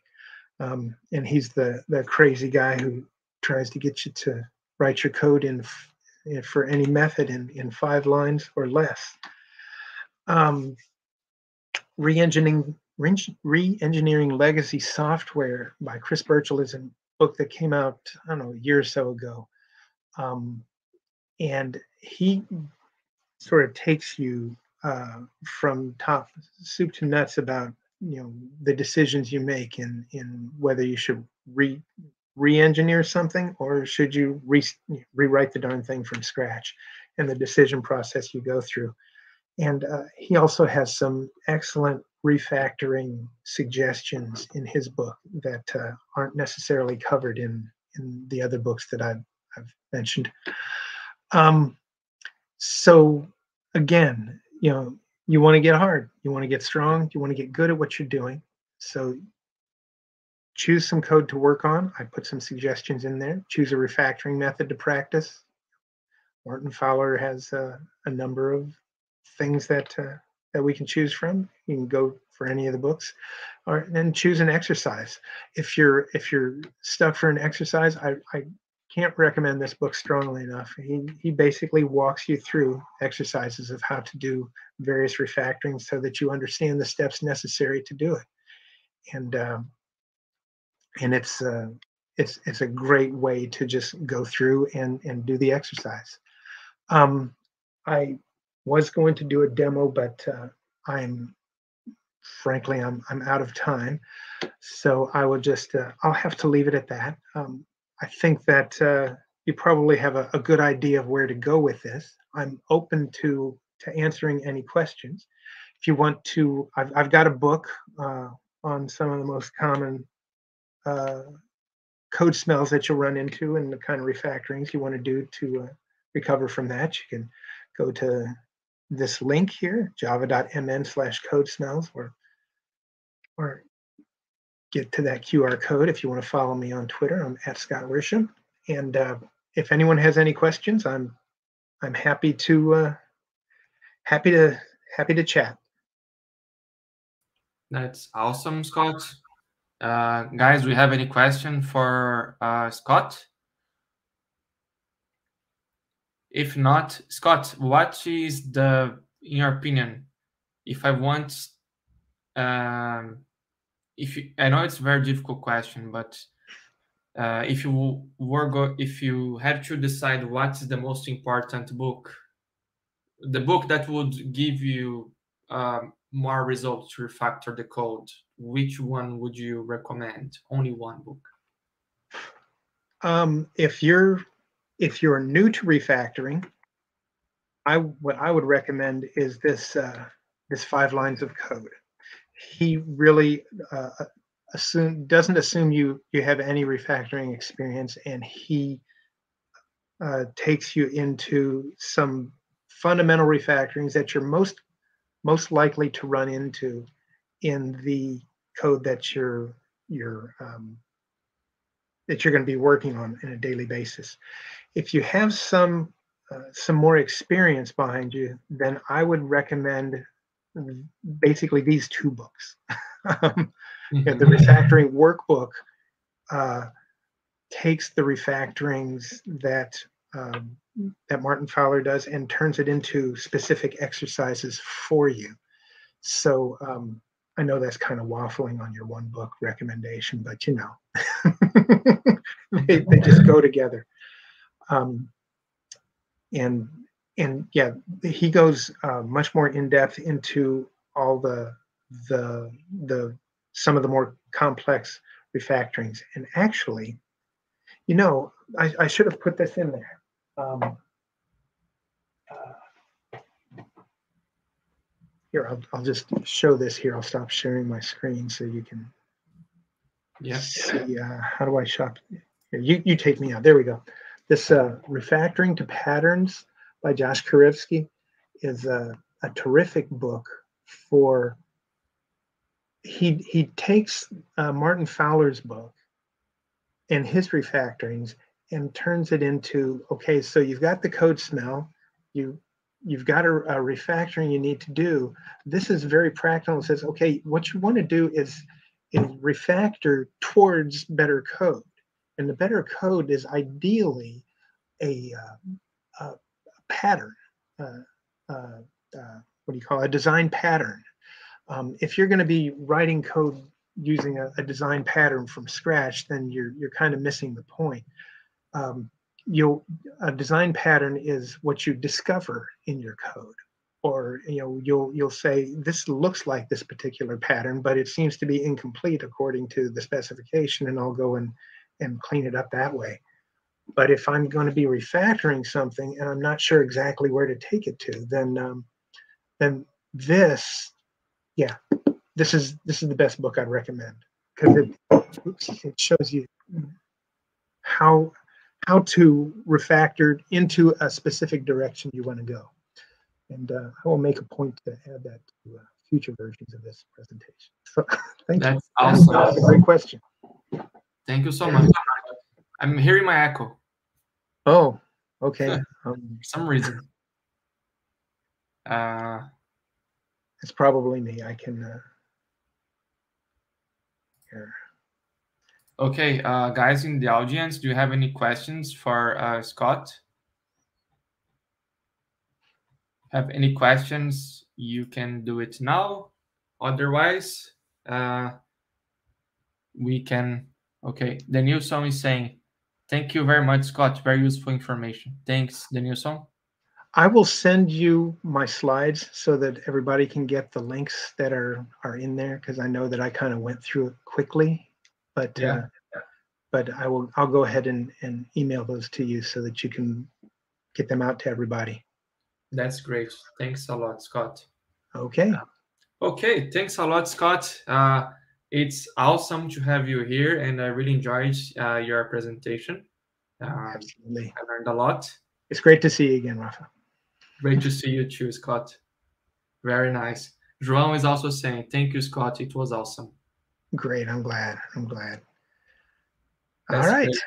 So that's it then. Thanks a lot, Scott. Sure thing. Hope to see you again. Okay. You have a you have a great day. Have a great day. Good luck with your with the rest of your conference. Thank you. Bye bye. Bye.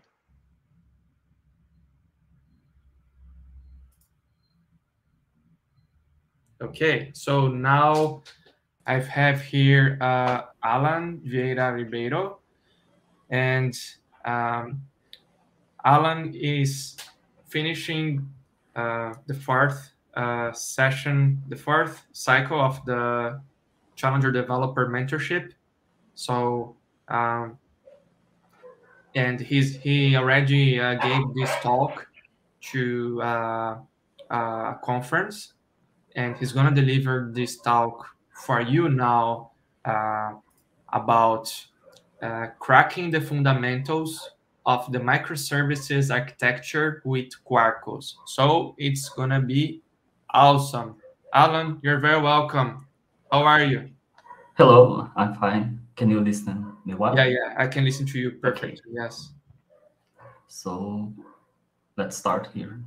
Just Yeah. Happy to see you here. Um, so, okay. Um, whenever you have your slides uh, ready, Allan. yeah, I am start sharing right now. Okay.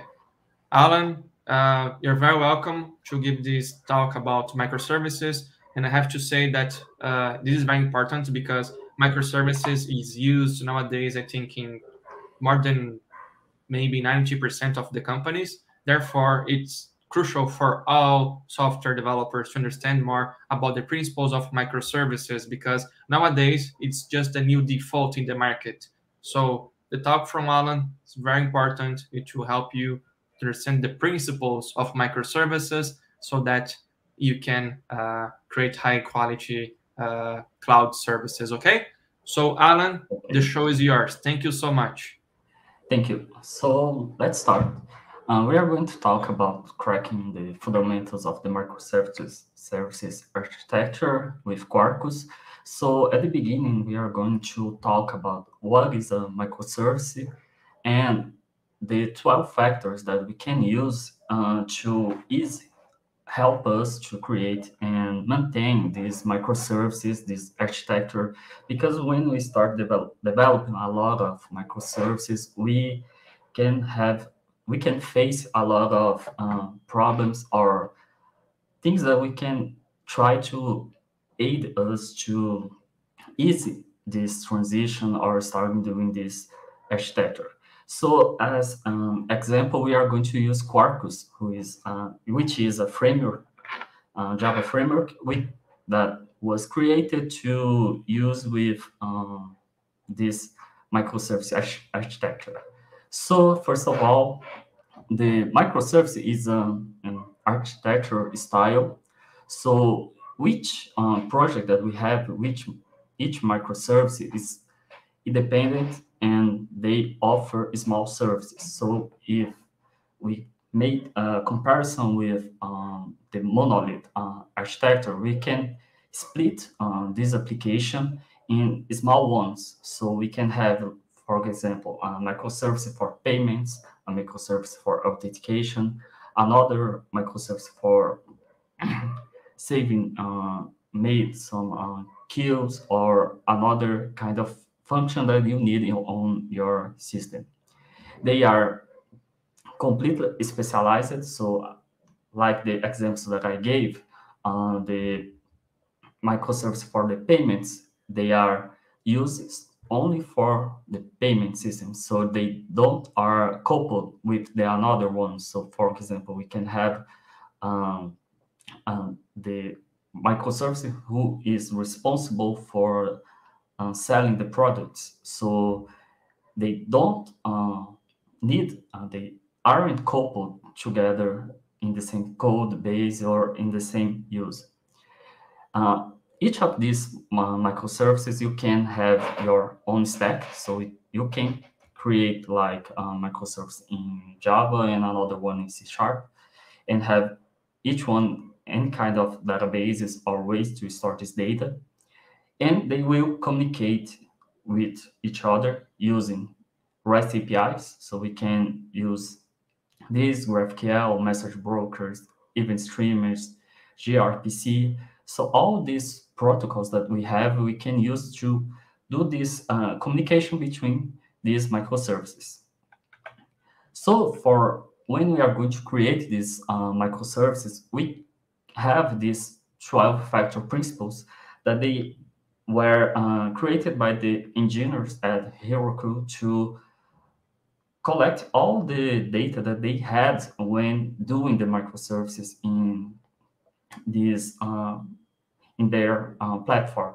So first of all, we have the code base. So each microservice will have its own like Git repository for keep it uh, uncoupled for the other. So for example, if we have a change that we can uh, want to release for production, if we have another team using, we have like to controlling uh, all these changes to our code base. So with each microservice, we'll have uh, its own code base that is separated from the others microservices.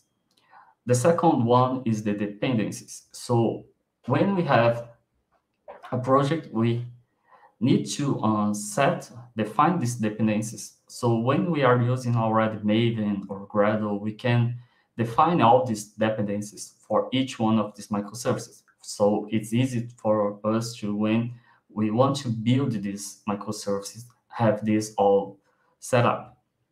The third one is the configuration. So the configuration of the microservice are the data that we use, like for example, um, keys, uh, URL for another microservices or services, um, the username and password for our databases. So our microservices need uh, like a way to uh, to manage this configuration so we can use and uh, being easy to uh, deploy it like in production or staging. The backing services are a term that we can use that will mean to any other services that we are using within our microservices. So for, for example, we have a microservices, but we have uh, databases. So this database is a backing service for our microservices. Uh, the next factor is the build, release, and run. This means uh, essentially that we need to have like uh, CI or CD uh, set up with our microservices so we can uh, build our, our microservice, microservice, generate and release and put on production or on staging. So when we have already uh, created uh, CI/CD, we can do it, this easily. So it can help us, uh, like for example, uh, when we get to the concurrence uh, to uh, deploy easily more than one microservices.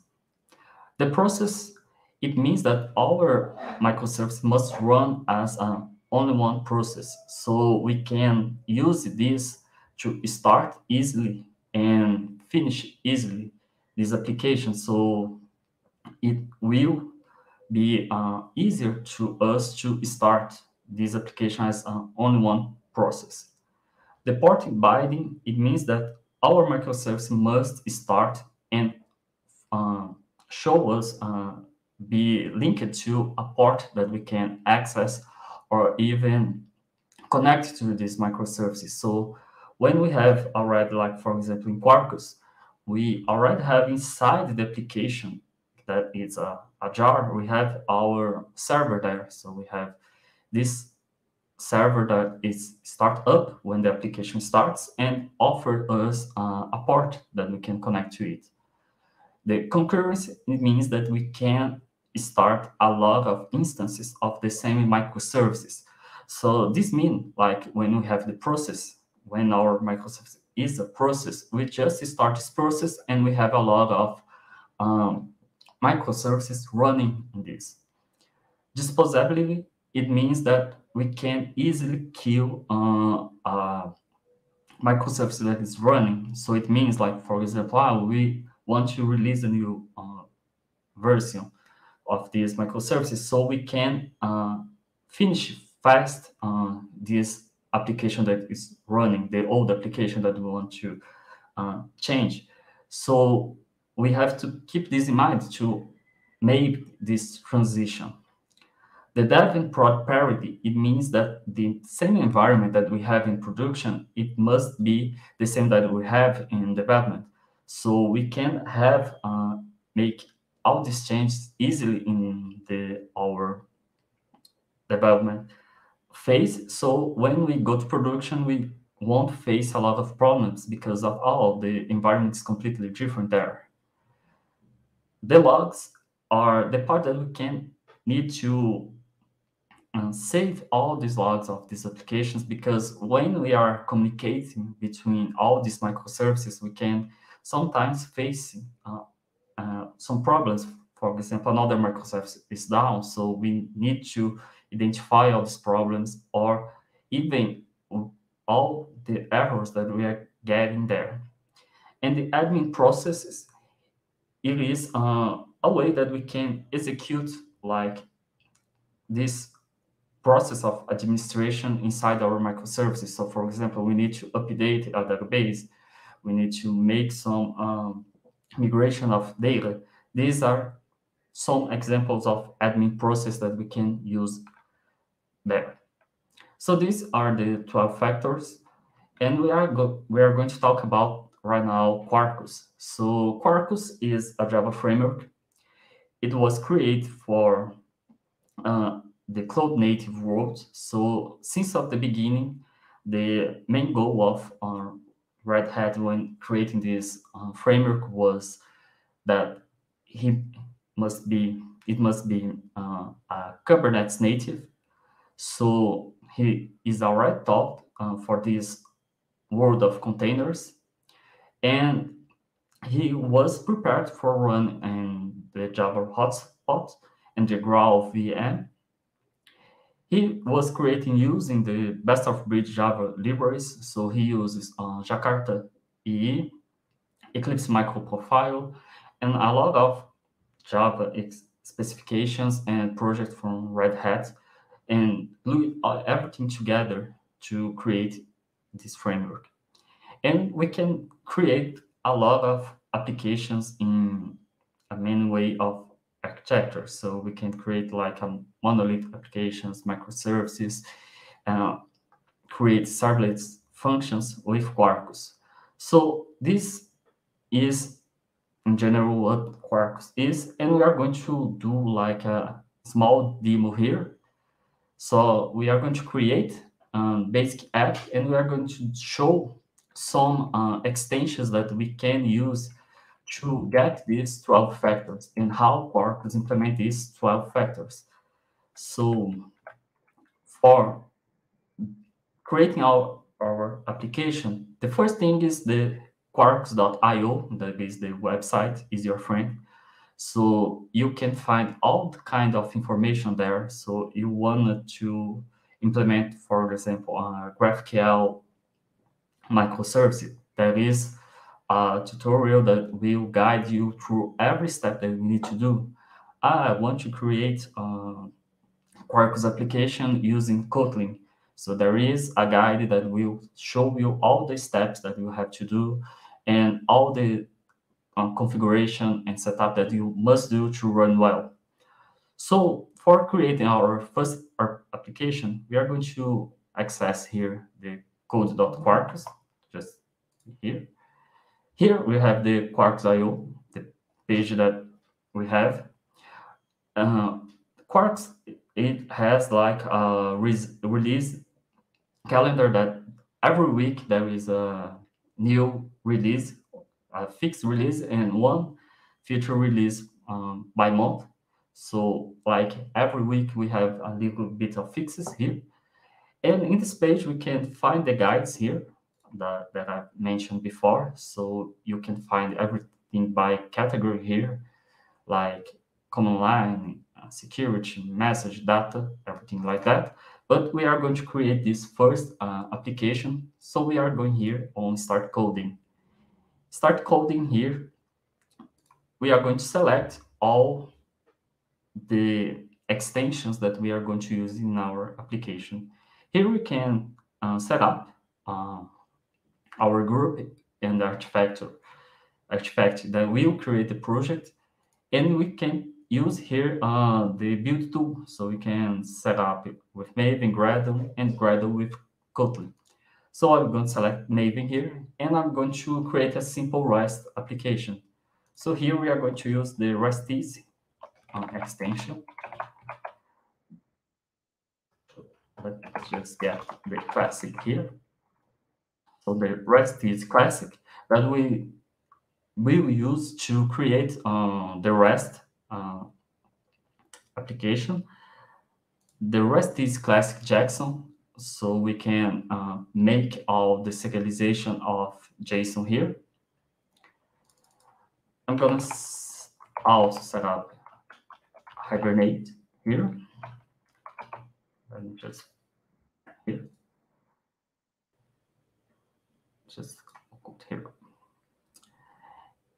And I'm going to set up another framework here with um, Panache, it, which is uh, another layer that we can have on Hibernate that will help, help, help us doing very uh, fast queries to our database. And let me see if I see someone here. Um, yeah, I think it, it is. If I am missing something here after, ah, okay, um, I'm missing the database driver here. So I'm going to use here uh, driver for for Postgres. We have also on Quarkus, it is it is have a lot of implementation of reactive patterns. So you can find easily to use these reactive uh, features. So we have here like uh, a client for Postgres that offer us to use the reactive program to our queries. Also, the same can apply to RESTEasy. REST Easy, I use the RESTEasy classic here. And and we can you can use also the RESTEasy uh, reactive. Just remove here. Okay it's everything here. So you can generate your application another way that you can uh, create your application is using the quarkus cli here that is uh, um, command line application that you can install and create all the projects. So you, instead of going to the website and select everything, you can use Quarkus create on the command line. So you can create the project there. And you can also add extensions, set up all your project here with the CLI. And here already it showed to us the guides that we can use to learn how to set up these extensions that we had. So here in the RESTEasy Classic, let's see if, oh, I don't know what is happening, but it's going to open to us these guides here. Let's just start here. Maybe it's, yeah, I think that. Okay, so here I downloaded the, the file, the project. I'm going to extract here easily. Just a minute.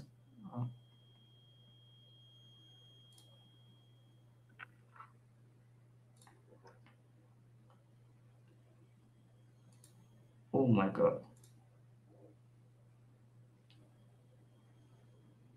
I can't believe it. and I've already tested here before. Yeah, the the demo gods are angry. yeah, and I tested before. I I even downloaded the in the Maven before the the the talk. I downloaded like the all the the last person here. Let's try again. Let's try to open again. Let me see if I know. Try to maybe close the process of IntelliJ. Maybe there is to... maybe there is a process opened. Are you using Windows or Mac? No, or... I'm using Linux here. Try to close the process from IntelliJ on. I'm not sure how to do it in Linux, but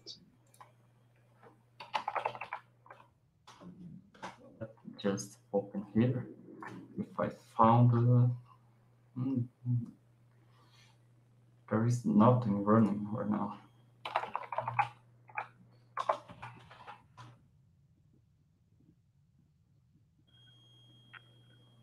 Um, I'm gonna try to install another one here just to see if I can make it work.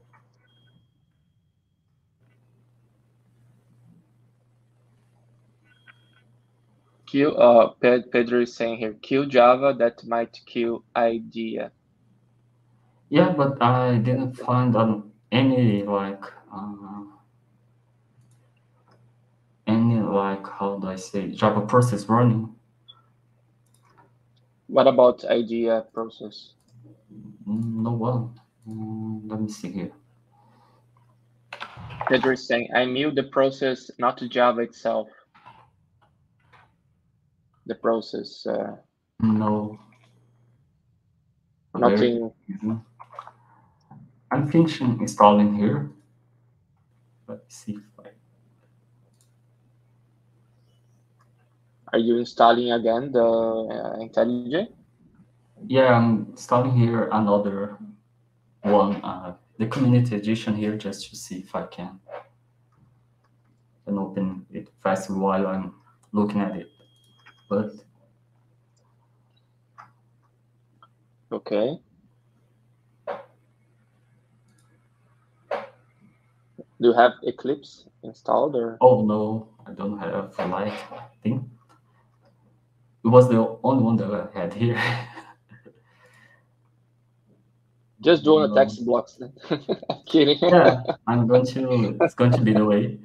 So i think the only thing is hard to see the, the code but we can like do it here. At least let just uh, while it's downloaded here. Uh, let's see where I put. Um, yeah, Daniel is suggesting to reboot the machine. Yeah. That's always works. That's always works. If you want to try it out, Allan. I, I will wait to finish the installation here. It's all right. Okay. Uh, ending. So if it, it doesn't work, I will try to reboot. Okay. So while this is running here, I don't know if are you seeing well. Can can you uh, make the the font a little bit bigger, please? Yeah, here Yeah, So I think that's here- perfect. Yeah. we are inside the, the project. So I'm just gonna use, I'm gonna to um, download all the dependencies while we are starting so we can, okay, it finished here.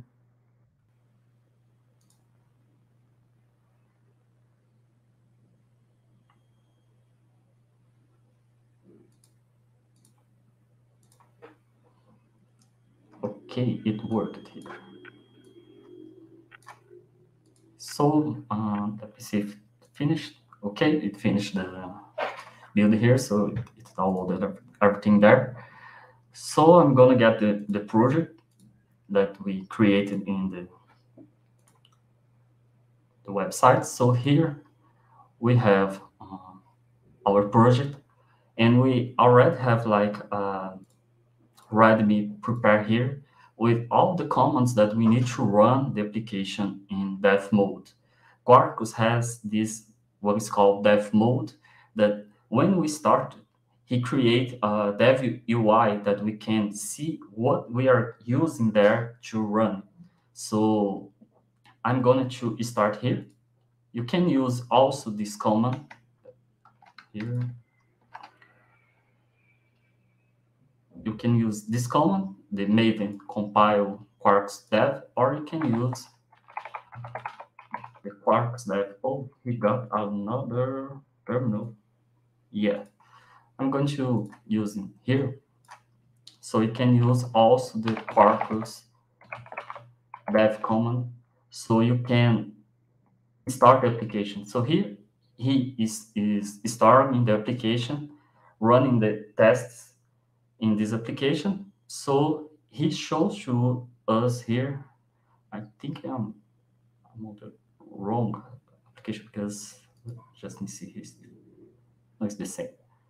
So he started the application. He can use there to access the.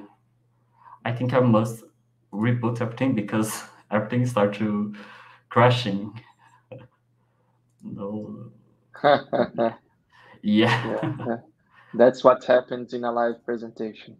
yeah. Okay, let me just open here. Let me see. So we started our application. In here, we have our dev UI.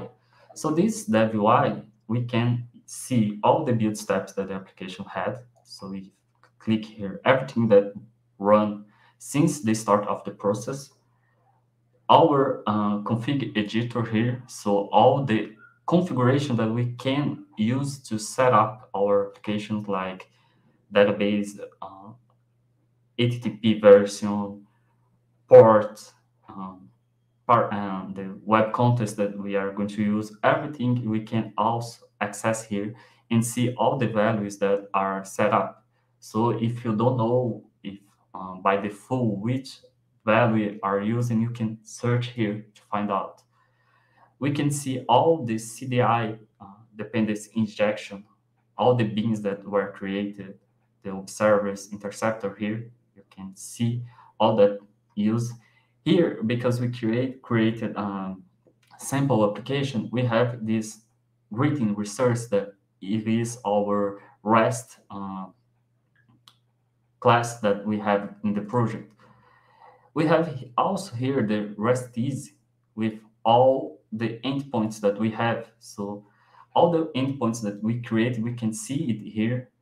And we hit even those these endpoint scores that we can see the that he made like uh, kind of test here. And we can also add a lot of uh, another extensions. And if the extensions has the uh, implementation of the dev you can see it here. It, it, it will show to you here all that configuration. So here, we are going to see a little bit of our our code. Let's just um, ah, the problem is that everything I have to set up here. Uh, Rafael, do you think that I can reboot here just to see if it works? Yes, Allan, you can do that. Yes. Yeah, I think um, I'll try just to see it because if it, it I think it's going to be more uh, fast to see. Yes. So- yes. I will stop share here and in a minute I will be back. Okay. Okay. Okay. Yeah. In the meantime, guys, if you can make any question about your career or uh, anything that you would like to know more, so feel free to ask. Make your question now because uh, is the time.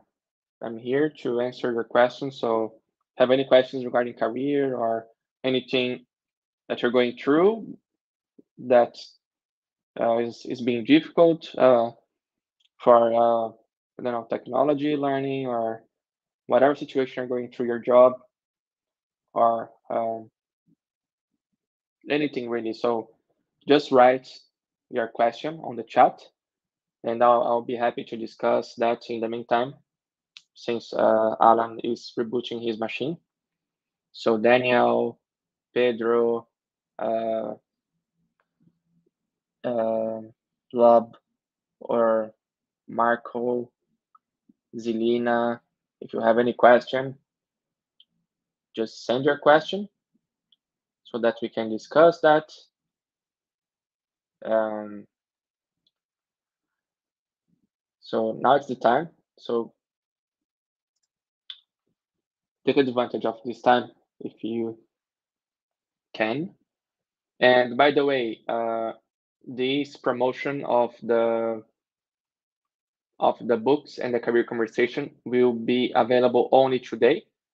So I've seen that uh, some of you already purchased the the books and the career conversation.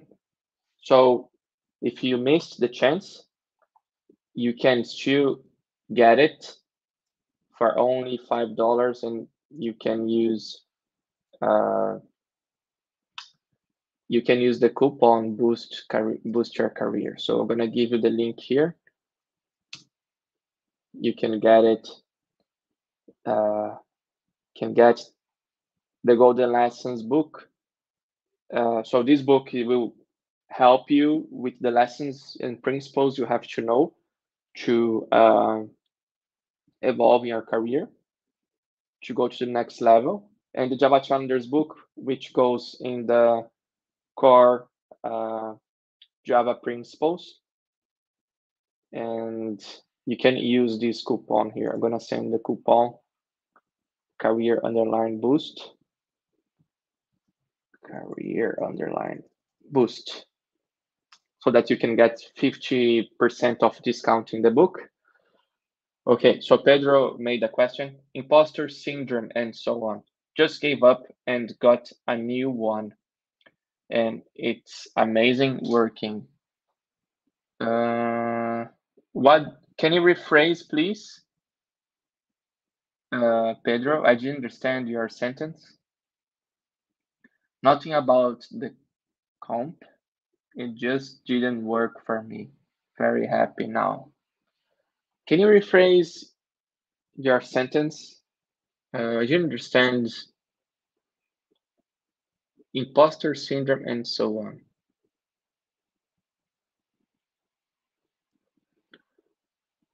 Okay, so I think it some mistake happens uh, with Pedro's text. So if you can gather all the text, Pedro, so that you can uh, can be a little bit uh, easier to read.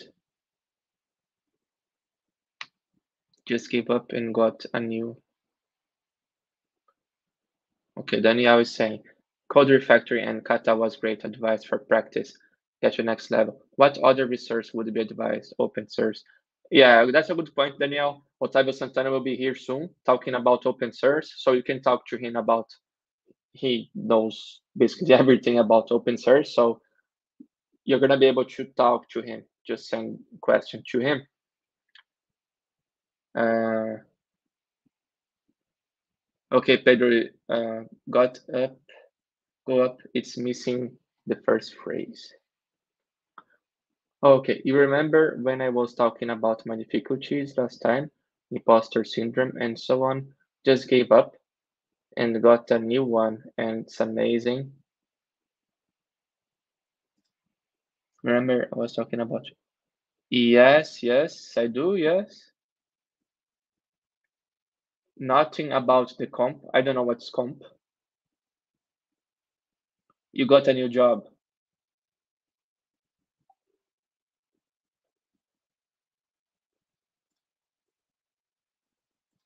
Okay, uh, Allan saying he's ready.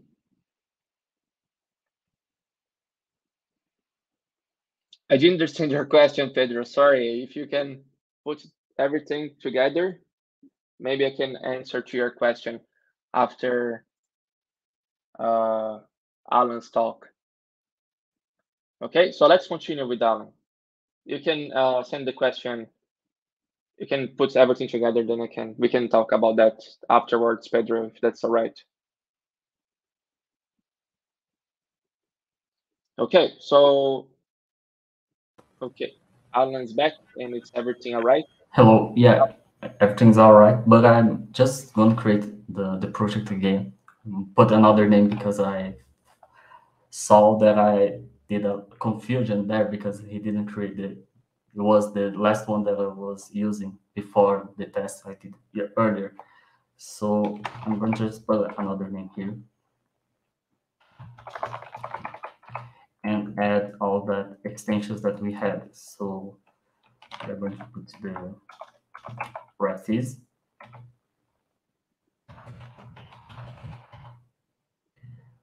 Let's finish here. Hibernate. Because I, I want to show you the dev services and it didn't like work when I start the application. I say, oh my God, there's something wrong. Do you want to, do you want to share your screen? Oh yeah, I was not sharing. No. I'm doing here. okay, let's just share here. Okay.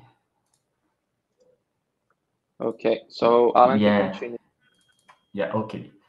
So as as I was saying, uh, I'm just gonna recreate here again. Let me see. Um,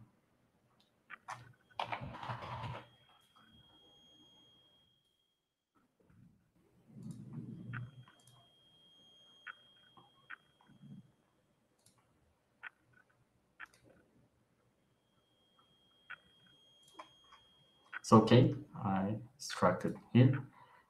Now it's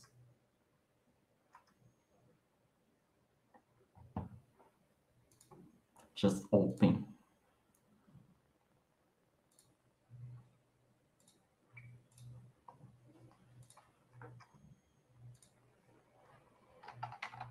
It's okay. As I was saying before, we have here the this readme that we can find all the commands to run our application. And here in this demo, he already created to us uh, some RESTful web service here that we can access here. And also he creates um, JPA entity. It is because we added the Hibernate there. And for Quarkus to start, when we set the Hibernate extension, we have we need to have at least one entity mapped here. So this is why when I put there the Hibernate uh, we have here this example entity here. So right now I'm going to start this application using Quarkus Dev. So you will see that I didn't uh, set up here in the application's properties uh, the information for the database because I want to use and I want to show you here uh, the Quarkus Dev Services. That is a function functionality that will see what extensions that you you have uh, set up here and will start uh, the application that we need. So for example, here, I said that we are going to use the, in the Maven here, the JDBC driver for Postgres. So what Quarkus did here when he started up, he finished here, he started a Docker image with um, starting Postgres for me. So he already set up here, let me see if I can find here.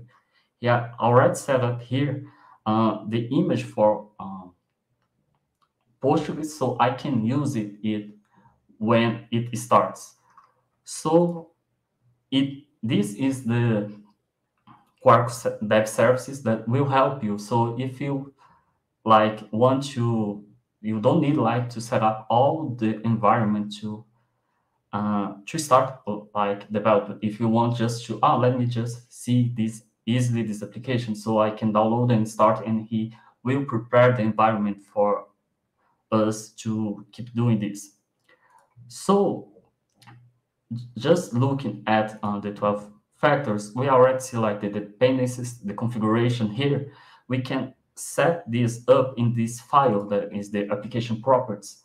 So in this file, we can set up all the dependencies that we have. So I can like set all the configuration of our data database. Here, he start up, but I can, I will start here a database just to show you this configuration. I'm just to start here. Database here. And I'm going to set up here all these configurations. So here we have like, just repeating here, the all the configuration that we can, can set up. So for example, if we want to change this configuration for production or development environments, we can use the profiles. So for, for example, we have here the username and password, but I can define here that for the that uh, profile will be this data, but I can create another profile using this prefix here. Like I can create anything that I want. So here I create the staging. So I can define another property so we can easily use this when uh, doing the de deploy or even doing the configuration here during the process like of build and release, we can set like um, the profile for uh, the staging process here to get the database staging, the for the staging. Also, we can see here that it's very fast, like to start uh, the Quarkus application. You can see when I started without and he started Postgres together, it was fast.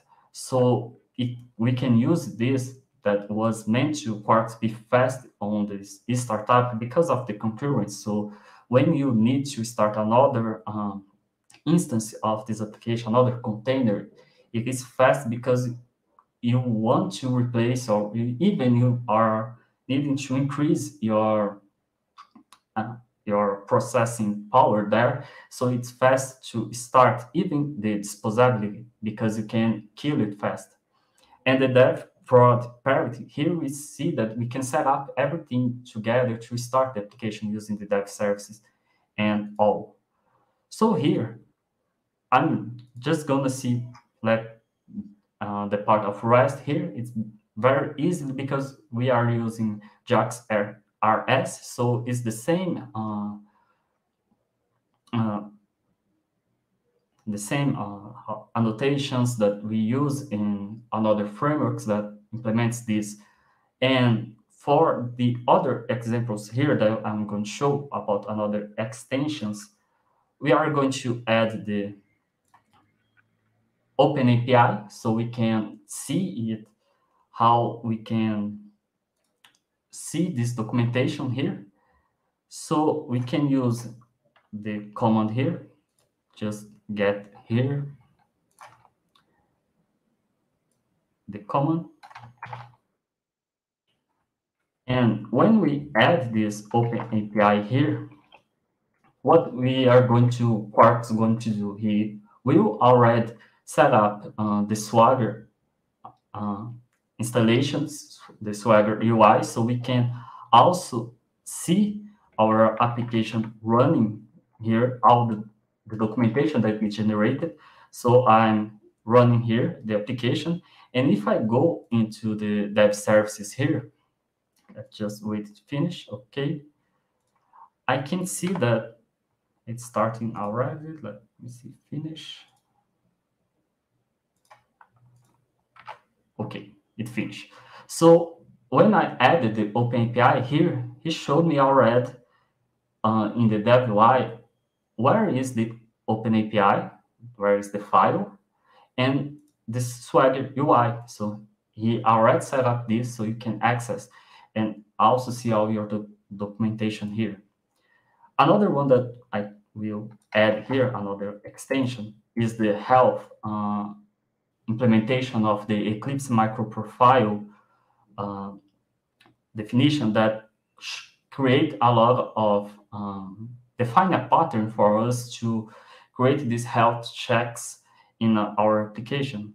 So I'm gonna add also here this extension using the SmallRye health here and start seeing the application again. We will see that he is going to add there uh, the health checker endpoints that we are going to create. So let's just got here. And just have here a simple example of a health uh, endpoint that we can create. So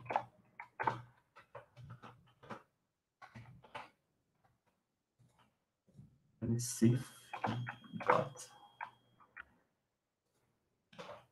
Okay. So this is uh, implementation of the Eclipse microprofile uh, health check. So he created this interface that we can use to define this call method and show if our application is up or down. So it defines like a um, the full response for us to see. Let's just me see if our application is running. Okay, it's running. I save this. And I'm going to access here our dev UI. Come back here. And right now, it is already here uh, the endpoints that we can use to set up, like for example, in Kubernetes, uh, if to check if our application is up and if it's running, we can use this uh, annotation of liveness to see if it's up and readiness if the application is ready to work there. And the last extension that I want to show is the micrometer metrics that it's a extension that you can use to set up together with Prometheus to get all these informations that we can use like to log our application in Prometheus. So this configuration here is, uh, I didn't copy, copy. Let's just get here.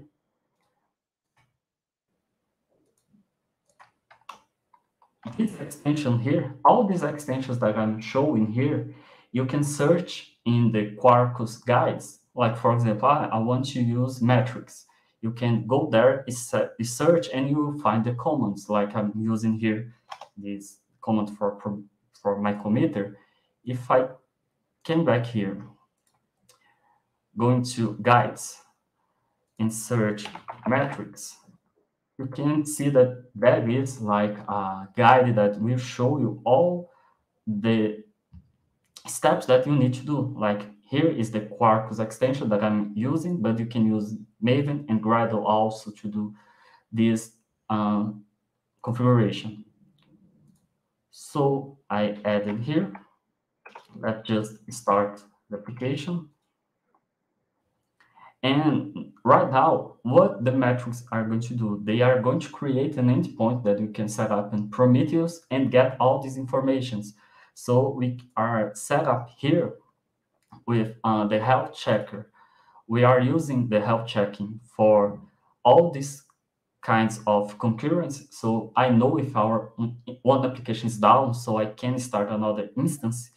And also to see if the application was down, like when I send a command to kill that uh, instance that is running there. So here the application started. Here we can also see in the logs that it show all the extensions that we have in the project. So getting in the dev UI here, just update, we have like the micrometers here, and we need just to add some configurations there, like there in the application, uh, the application properties. So it will show here the endpoint. I think uh, my time is finished, Rafael. Just to see if I...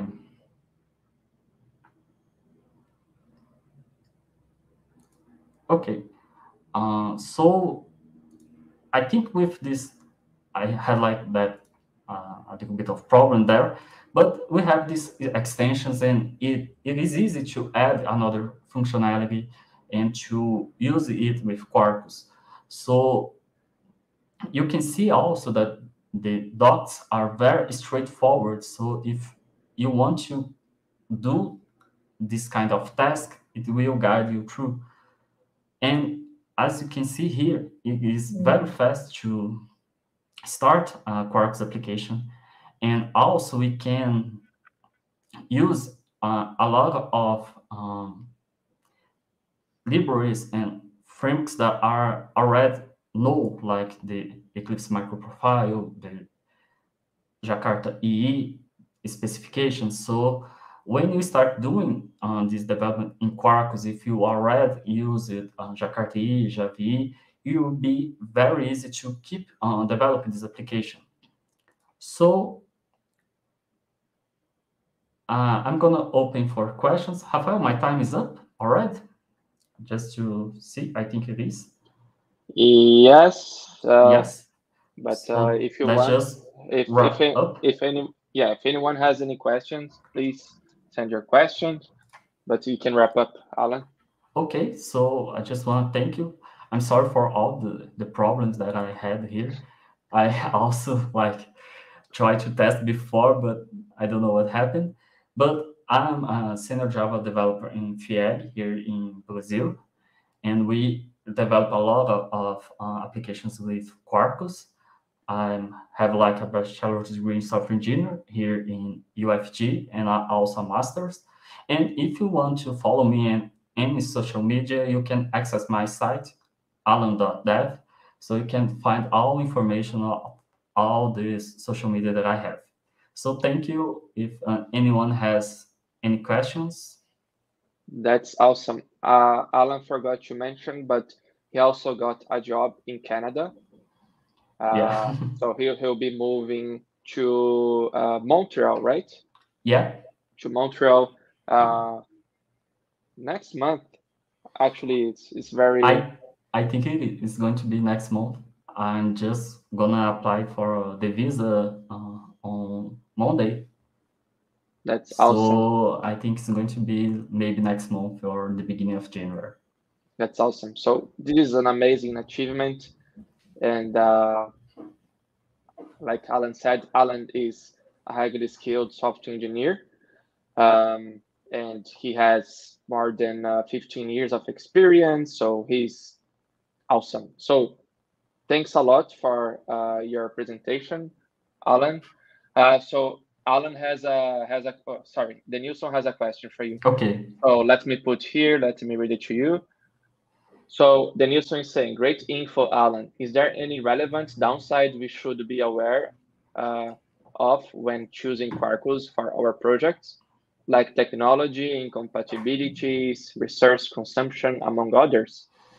Uh, I think like one of the downsides that we can have is because um, Quarkus is not like the most used uh, framework that we have.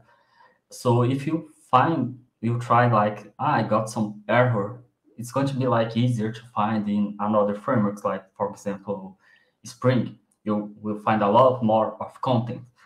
But the question for uh, consumption, uh, this when we decided to use at my company right now, we did some tests using Quarkus and Micronaut. So Micronaut was fast, but because we were already using like the Red Hat solutions, we keep on because the um, learning curve for all the team is going to be like easier to change. So we had like a little bit like Micronaut was a little bit faster, but we tried to use it. But comparing to resource consumptions, like for example, we were using like Thorntail before that it was the WildFly Swarm from Red Hat. We had like for memory, just a simple project, just a REST service. We had like uh, less than half the usage from the um, the framework before that we were using. So like, for example, if uh, a simple application with Thorntail was using uh, 500 megabytes of memory on the startup, on Quarkus, we got that on maybe 200. So I think it, it, it's like the downside this is because it's growing. We can see like uh, here, even in Brazil, we have like uh, right now Banco do Brasil using and you can also see in, I think the Quarkus web page that is like a company that is using, but that is the, the like I think is the main downside. You will see a lot of more job openings and even uh, tutorials or all these kind of things more in other frameworks that are more popular. Okay, great. So we have one more question from Lob. Uh, Lob is asking, how is it like switching from a core Java EE application to Quarkus? Yeah, I think uh, the it's not like very difficult because I started using Java EE, and after that we went to like Thorntail, and I think the main difference is like they use a version of CDI that is a little bit different. So we don't have like the EJB, but the rest is like the same. We are going to keep using JPA, uh, JTA, all these implementations from Jakarta. The next version of um, Quarkus that is going to be Quarkus uh, 3.0, they are planning to upgrade the version of Jakarta for, I think, the, I don't remember like uh, right now the number, but they intend to update this. So it is like compatible. If you already use like Jakarta, you will find some uh, difference, but you will not be like totally lost there because they are using also the Jakarta uh, specification there, the implementation like of the, the Red Hat implementation of the specifications that we have there in Jakarta. Awesome. Thanks a lot for your questions. Is there any other questions? Uh, Denilson Lab. If not, I will bring Otavio Santana. So, Alan, thanks a lot for the Thank presentation you for having microservices and uh, Quarkus. And uh, for sure, it was uh, the, the audience got a lot of value from that. Thank you. So, So, bye bye. okay. Bye bye, Anna. Thanks a lot for being here. Okay, let's call Otavio now.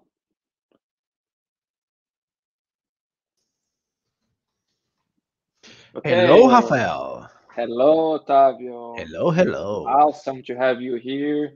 Uh, probably all of you know Otavio, but I can quickly introduce him. Otavio is a Java champion. He uh, he's been contributing with open source products for a long time. So I know that someone from the audience asked about open source. So Otavio is, is the person. He is the guy for open source. Um, Otavio is a distinguished software engineer for Zup. Uh, he is also a doctor So Otavio is awesome. So uh, how are you, Otavio? How are things? Oh, hello, hello, everyone. So let's say hello, Tushar, Daniel, Pedro Henrique. Oh, I guess you are Brazilian. Oh, that's nice. Eduardo, João Paulo, Pedro. Hello, everyone. Hello, uh, it's amazing to be here, and thank you. I'm glad to spend a the Saturday with you guys. Thank you. I'm, I'm also happy you are here, Otavio. Okay, Pedro Henrique is saying yep. So, Otavio, the show is yours, okay? Okay, that's nice. The show is Uh. Whatever you can, whatever you want to do. Uh, today I don't like to do code. Uh, we already had several discussion around code, and today I will do a little bit different. So I will cover some tips. Uh, next year I will celebrate 10 years of experience, mostly in open source, and I started wondering if may I do some suggestion, feedback imagine right now that I have uh, the power to return from the past and teach the, the new Otavio how can uh, the way they are able to achieve more success and get more results. And based on that, I'd like to share you. Of course, I don't have this power, but I'd like to share you something that I learned on the over the 10 years of experience around software engineer, especially to a person who uh, who does a lot of open source and technology like this. Oh, come on, Rafael, don't go away. It's a panel, it's an open discussion. But anyway, I will do this, this 10 tips where Okay. fifth tips is around the tech and the another six, uh, five tips is around people. Okay. The tip number one is about trends. I know everybody love it. Uh, right now we have microservice, and a new feature might have nano service and then atomic service. And don't worry, it might be more. In the past, we had Hibernate, Second Cache, and we had Kubernetes. We had a lot of uh, new products and the word scalability becomes like a commodity to everything right? So because everything has a uh, scalability in the name. Please don't follow the herb. Check and understand the context about it.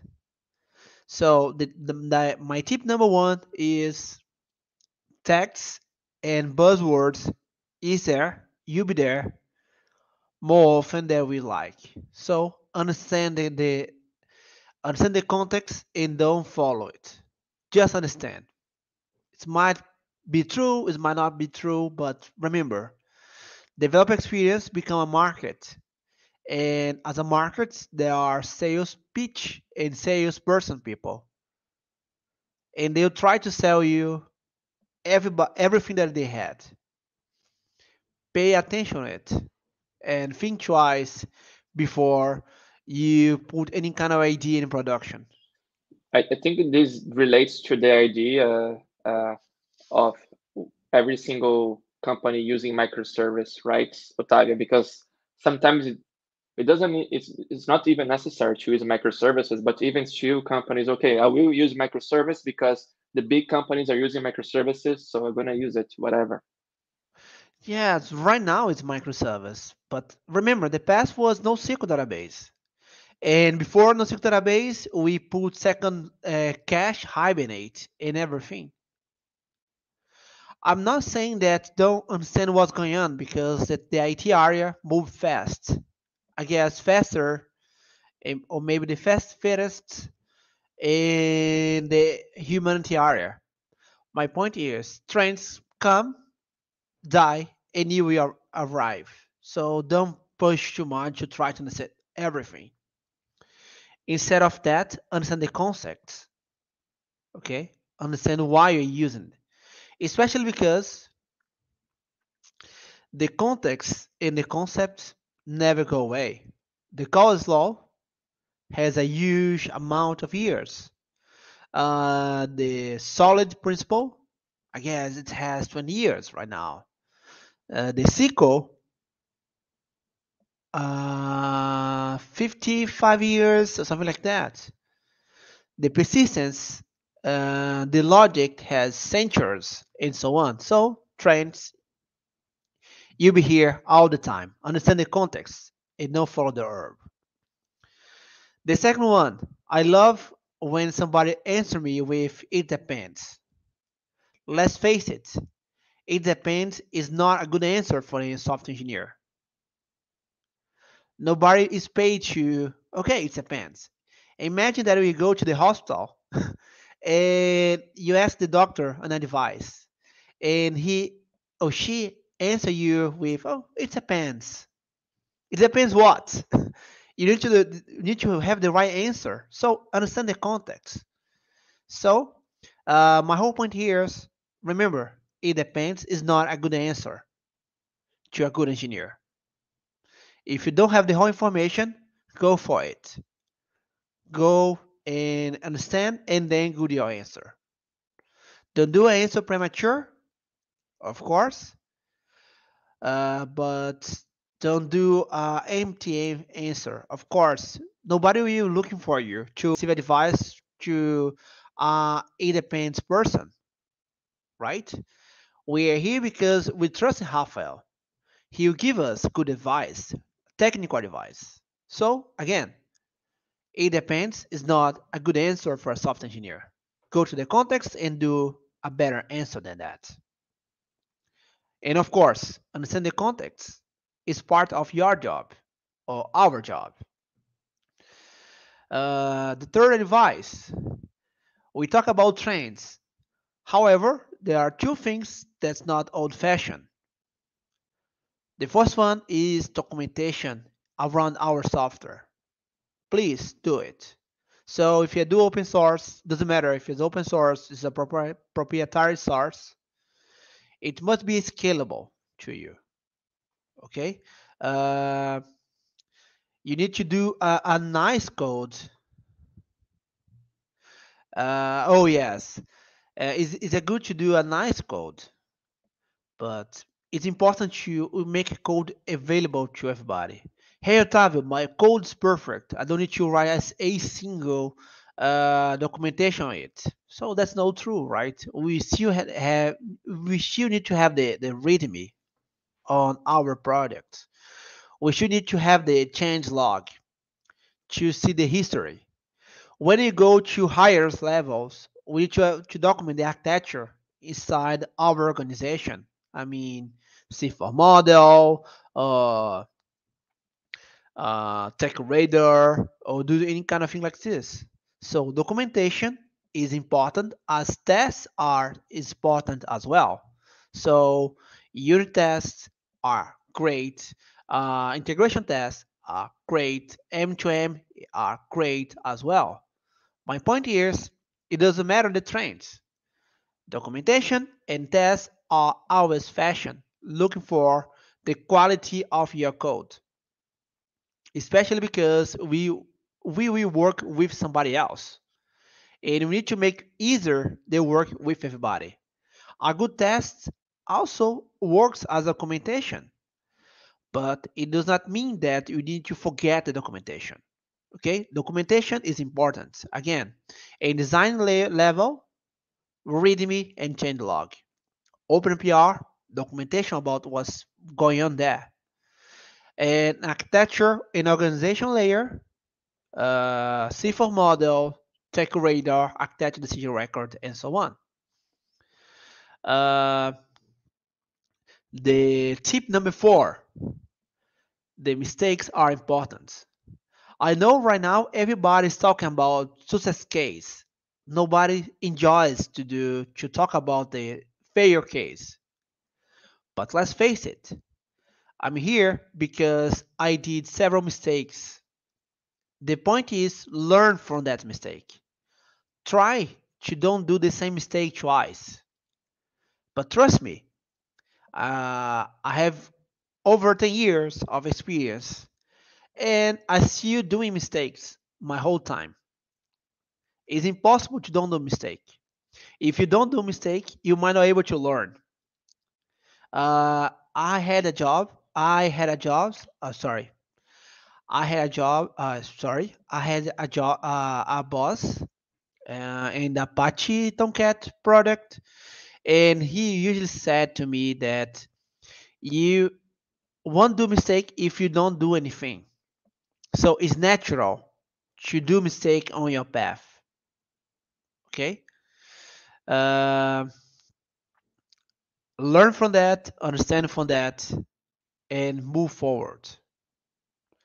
Yeah. Uh, the oh, go go ahead, Rafael. I, I think in that regard, there is even a ceremony. I don't know if it's very popular in companies. There is a ceremony called post-mortem, uh, which Yeah, basically we talk about the, the mistakes. For example, why that service went down, or why the, the database was down, or whatever. So we have this ceremony.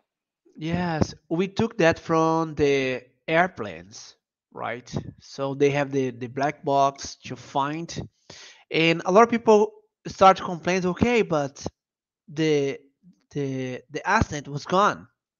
Why are they looking for deep so deep? The answer is to learn from that mistake, to avoid the same mistake can happen twice. That's why the uh, air engineer is the most advanced engineer because they don't allow to do the same mistake twice. Let's learn from it. So we're gonna do mistake. We're still doing mistake, but avoid to do that twice. Uh, the the the the tip number five that I have on my mind is we as software engineer has a goal to deliver a product, to deliver a solution. We are not a fanboy person. And that's hurt, right? So because we love Java, we love Kotlin, we love Python. The point is it doesn't matter. The user does not care. Go focus in the right solution to the right time. Okay. Uh, of course, we have our favorite solutions, but sometimes our favorite solution does not fit in what we want to, to solve. And be pragmatic, be an engineer. Use the right tool to the right moment and start to do the right questions about it. That's a that's a good point, Otavio. Uh, uh, do you have any uh, tips to help software developers to be better engineers?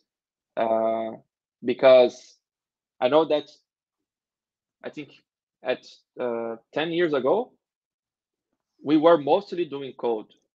We were mostly focusing on the code and the application. Nowadays, I see it's very different because of the microservices paradigm change. Nowadays, we work mostly with microservices. And yes, we have to have more of this engineering mentality because sometimes we have to create a whole new architecture for uh, a microservice. We have to think, okay, no, but this database will be better, or this programming language will be better for this microservice, for this problem. So, what would you suggest for developers to be a better software engineer? Because I think nowadays this is the new thing, right? Yes. Uh, my advice from it is go for the opposite because right now uh, everybody's looking to the fancy solution to to explore the newest trends. I mean, in the past, the Actech show out themselves with the number of layers. Hey, look, my application has five different layers. Oh, it's not enough. My application has 10 layers. And right now we are we are glad to put several microservices and but at the end we should focus on the simplicity of the system. Hey look, my application on my C since solve the problem. Uh, in the cheaper way. It's cheaper than other solution. Uh, my my onboarding process take just two days. Guess what? I able to have more people, new uh, early engineers coming in my product because it's well documented. It has more simplicity. So uh, my devices go away of the complexity inside your code. Uh, we mentioned about the, the, the airplanes engineers. Let's talk also a little bit about the musicians. Uh, I'm a pianist, and my favorite pianist is uh, Oscar Peterson, and he is so talented playing piano that he plays like uh, it's it's the, the most easiest thing that somebody's able to do it. The simplicity that he's able to play piano is wonderful. But when you go to play that thing, you're able to see that's impossible. And for me, that's a, the biggest key of the good engineer to transform something so complex in something easier and simpler. Like we did with garbage collector. Handle with memory is one thing more complex inside the system operation. Right now, everybody does not care, or they do not care too much. Like we did with Cassandra with database, we are talking about distributed system. Create an API to make another people life easier. Writing code, writing a design is the right way. The language doesn't matter. If my team knows Java, should I move to Rust?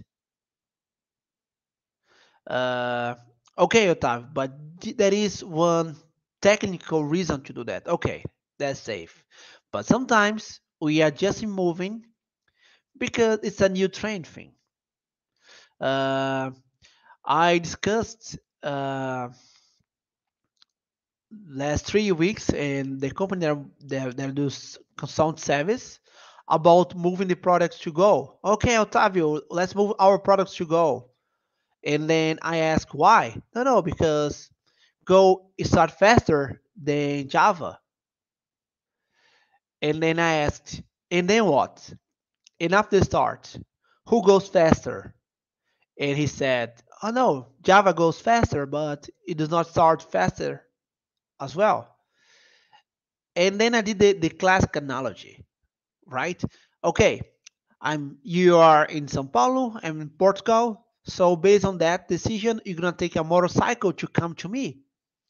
Just because the motorcycle goes first faster, the startup of motorcycle is faster than an airplane. Does it make sense for you? Because for me, it doesn't make sense. And beside the risk to use Go, beside documentation, beside a good practice, uh, right now we have GraalVM that we're able to do it faster than Go and Node.js. Those will make sense to change the whole knowledge of the whole organization to follow the new trend. If it doesn't make sense, oh no, okay, let's keep with Java at that time. And on the other hand, we had integration with Kubernetes. And they want to do it with Java. But come on, the whole ecosystem on CNCF is in Go. Why not use Go on that part? My discussion here is use the right tool to the right time. Don't follow the herb. Don't follow the the um, the trains. And those are my my tips to that discussions. Okay, uh, in the technical technical perspective. So trends is there. It was there. And it will be there. Get away for it. Understand the context and don't follow everybody else. Okay, Netflix is using that. So you're not on Netflix. Understand why Netflix is using. If it makes sense, go for it. If if not, just learn. Uh, it, it depends is not a good answer for a soft engineer. As a doctor, as an engineer, you don't like to receive the it's a pain answer. Go find the context and answer properly. It's part of our job as a software engineer. Documentation and tests are always fashion. It Doesn't matter the new trends. The documentation will be there, the test will be there. Mistakes are important. Doesn't matter how success case will be there. The mistakes will help you to to get more experience. So the mistake is a path to learn as well. I really enjoy if the conference approve more failures case instead of approve only the success case. And the last one, you are problem solver, not a fanboy. So learn language is important. Learn frameworks is important. However, go for the context, the concepts, because new frameworks will be there. Remember, trends, but the context, the concepts will be there forever. Like I said, Slovis, so NoSQL, SQL, ACID, theorem, and so on. Those are the tech advice. Yeah, you mentioned a lot of times, Otavio, about concepts. What concepts would you recommend mostly for software engineers to uh, be better problem solvers and be uh, highly employable as a software engineer? Uh, the advice is go and send the soft architecture. What is, when should I use, the strat- strategy of architecture, microservice, monolith, monolith. Uh, what else? Uh, reactive, functional. I understand that the word scalability is more deep than a sales pitch word. So every time that you say that you say scalability, explain. Otherwise, it just looks like it's an empty word.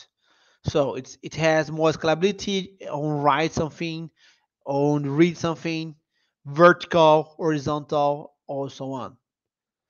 So try to don't use the scalability simply like that. We are running servers on system operation. Go and check out the understandable book around system operation. Uh, understand the the complexity of the code, the big O, and things like this. Understand also the structured data. When should you use linked list? When should I not use linked list? Map, hash map, and so on. Bubble short and bubble sorts and something like this.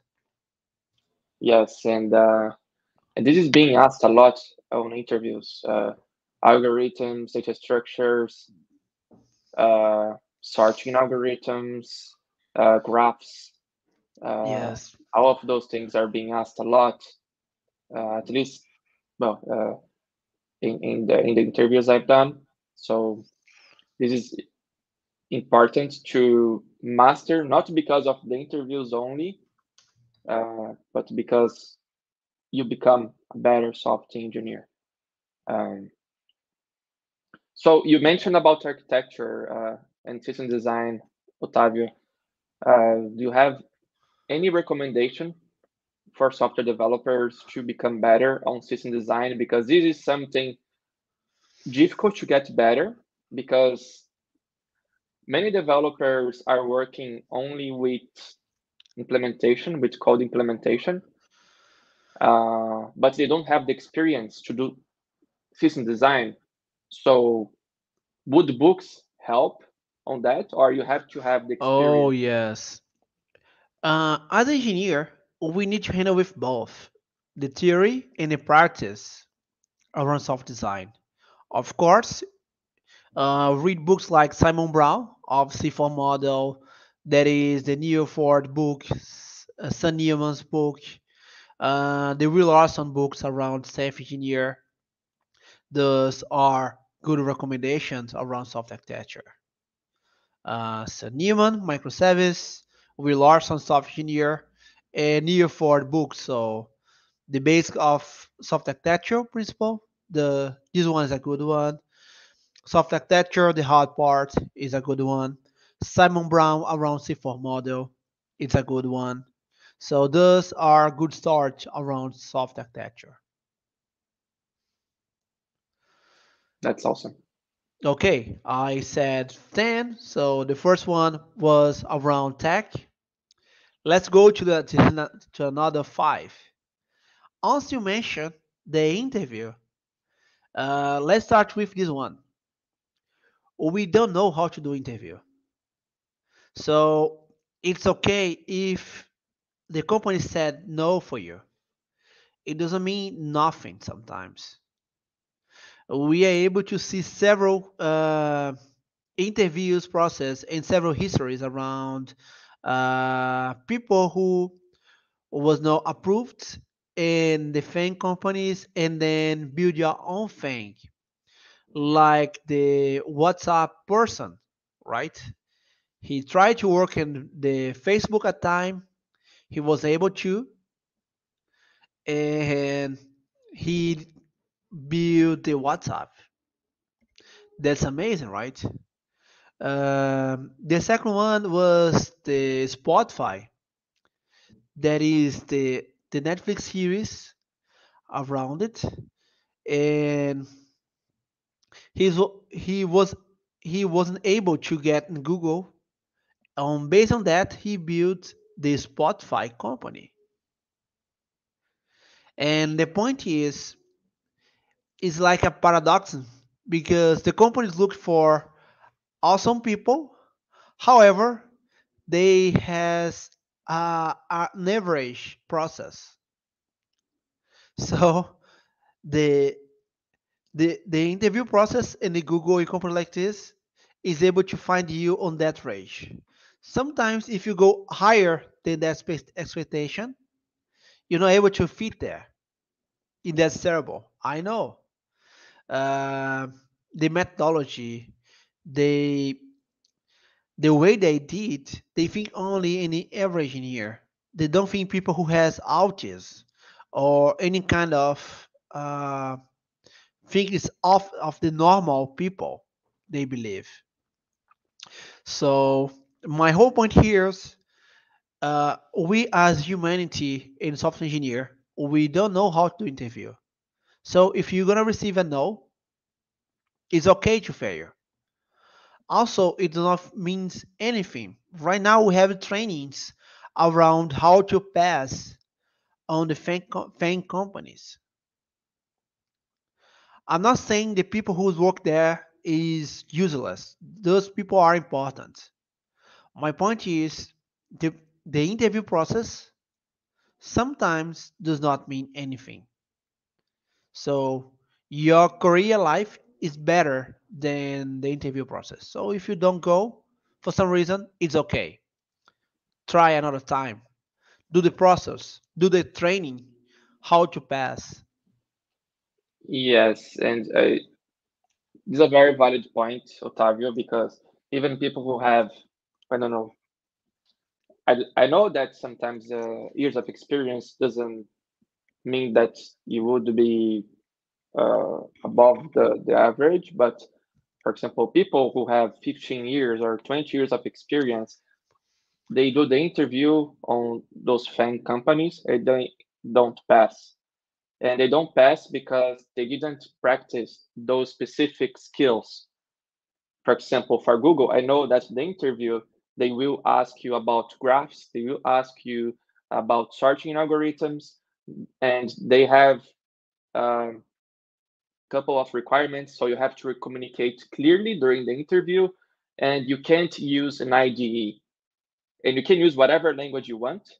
But for example, if you're coding in Java, you have to remember uh, every single instruction you are coding, and you have to make it compile, and you have to run it. So in the text block. So, So, uh, are you going to do that in real life? No. Nobody compiles code in whiteboard, right? And the point is, nobody knows how to do it, how to handle an interview. It's a tough process to the company and to us. Uh, of course, writing a code after you day working, where you are tired, you were did a lot of job, is not the best way. Uh, do a whiteboard, of course, it's a terrible idea. I don't know who gave this idea, maybe from the university, but in real life, nobody codes in the whiteboard. It's a stupid idea. Uh, okay, let's do a test and answer me in one week. Come on. Uh, you're gonna write a code where you will take the trash after that time. So you waste your time and company's time. The point is, we did not find a good way to do interviews until the moment. Everybody will tell you, no, no, the good software is the fastest job uh, software. But come on, the good software is the software where everybody is able to understand. The good software is the, is the software where everybody able to to write documentation, to write tests, to be more adaptive to to the to the evolution of the system. Don't blame me. It belongs to agile methodology. Uh, the whole point is the interview process sucks when we did not find a good way to do interview. So you are much more valuable than any uh, interview process company.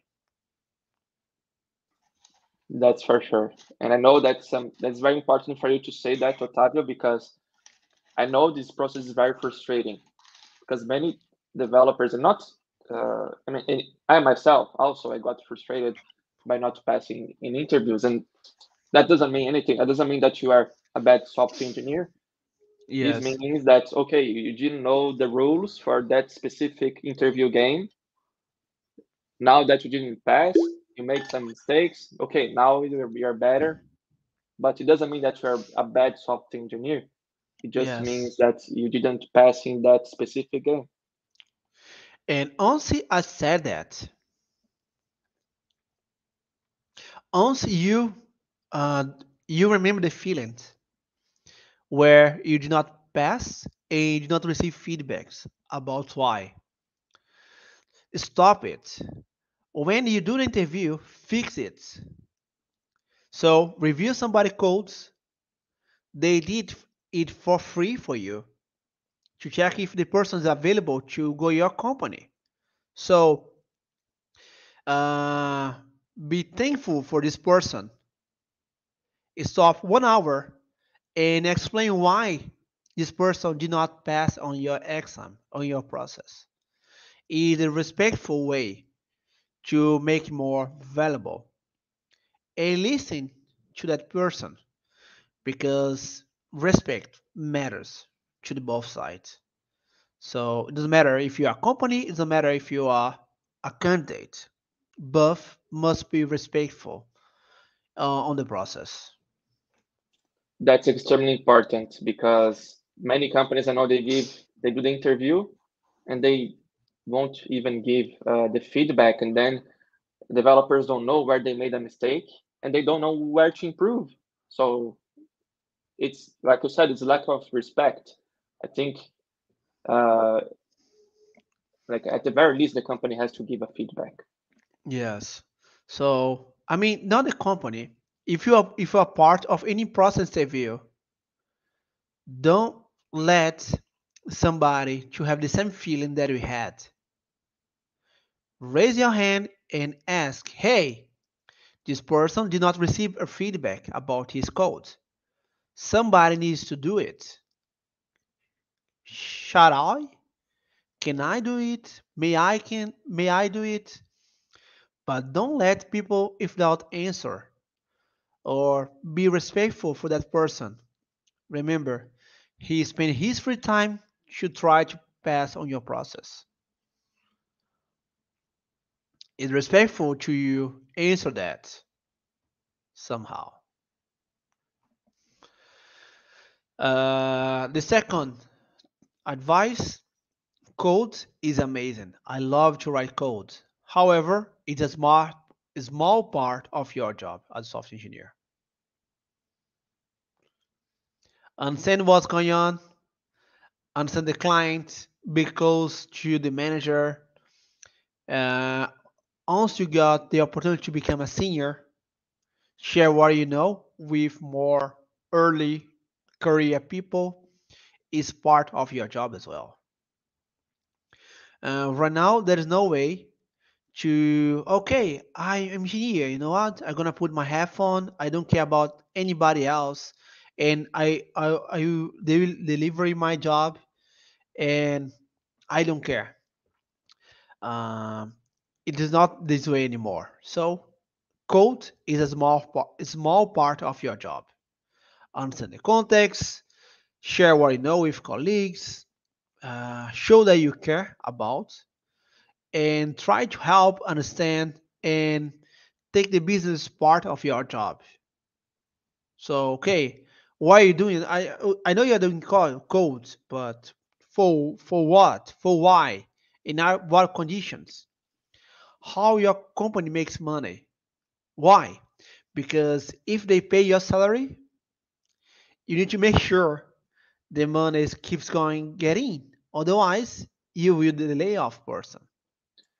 Yeah, uh, Otavio, you mentioned so many times understand the context, and I I see that I noticed this is extremely important. The more you grow in your career, again, understanding the context becomes more and more important. And I think this is very connected to understanding the big picture as well. So, what suggestions would you give for software developers to understand better the context and the, the big picture? Because I know this is very difficult I mean, you have to understand about what's going on in the server sometimes, or what's going on in the database, or who is the team that handles this production problem, or you know, there's a lot of things to understand the big picture. So, what advice? Because and and sometimes there isn't enough documentation. It it becomes even more difficult. Yeah, but do the exception. Write documentation. Uh, in Apache, we learned where if somebody teach you, one way to say thank you for this person is to write down what you learn. Uh, be closer to the business part is one advice. And you write down and make sure that everybody has the same knowledge that you have. And trust me, when you show your knowledge, it does not make you useless. The opposite. The everybody will count you more because you trust you more.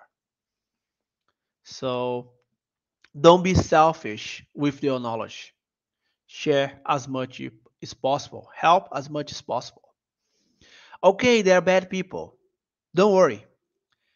The person who is useless and who does bad things, he's the wrong, wrong person. And go ahead. The advice number three, uh, it was my mistake. Software is for people, with people, and around people. There is no way to get, to get out of it. And as much you help, then I mean the user, the engineers, the manager, the organization, um, more you will increase your career.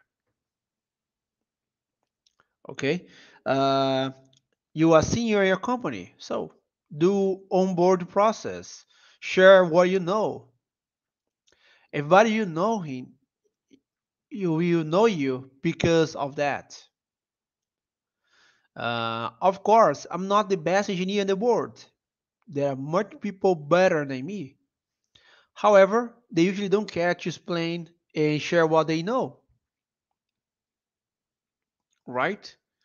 And because this, He's a smart person that nobody is able to touch or is, is a kind of scared of talk with this person. So be a, an accessible person, be a, a nice person, be a gentle person. If you can help a person, do it for it. Um, another advice is have a balanced life. I love software engineer. I enjoy to study, to read books, to write books, any kind of thing. But have a family time, a relaxed time, a hobby, or anything outside the code is also important. It does not it does not mean that uh, you'll be uh, able or sometimes work on the weekend to do a conference on weekends. Sometimes it will happen. The point is, don't try to do that every single weekend.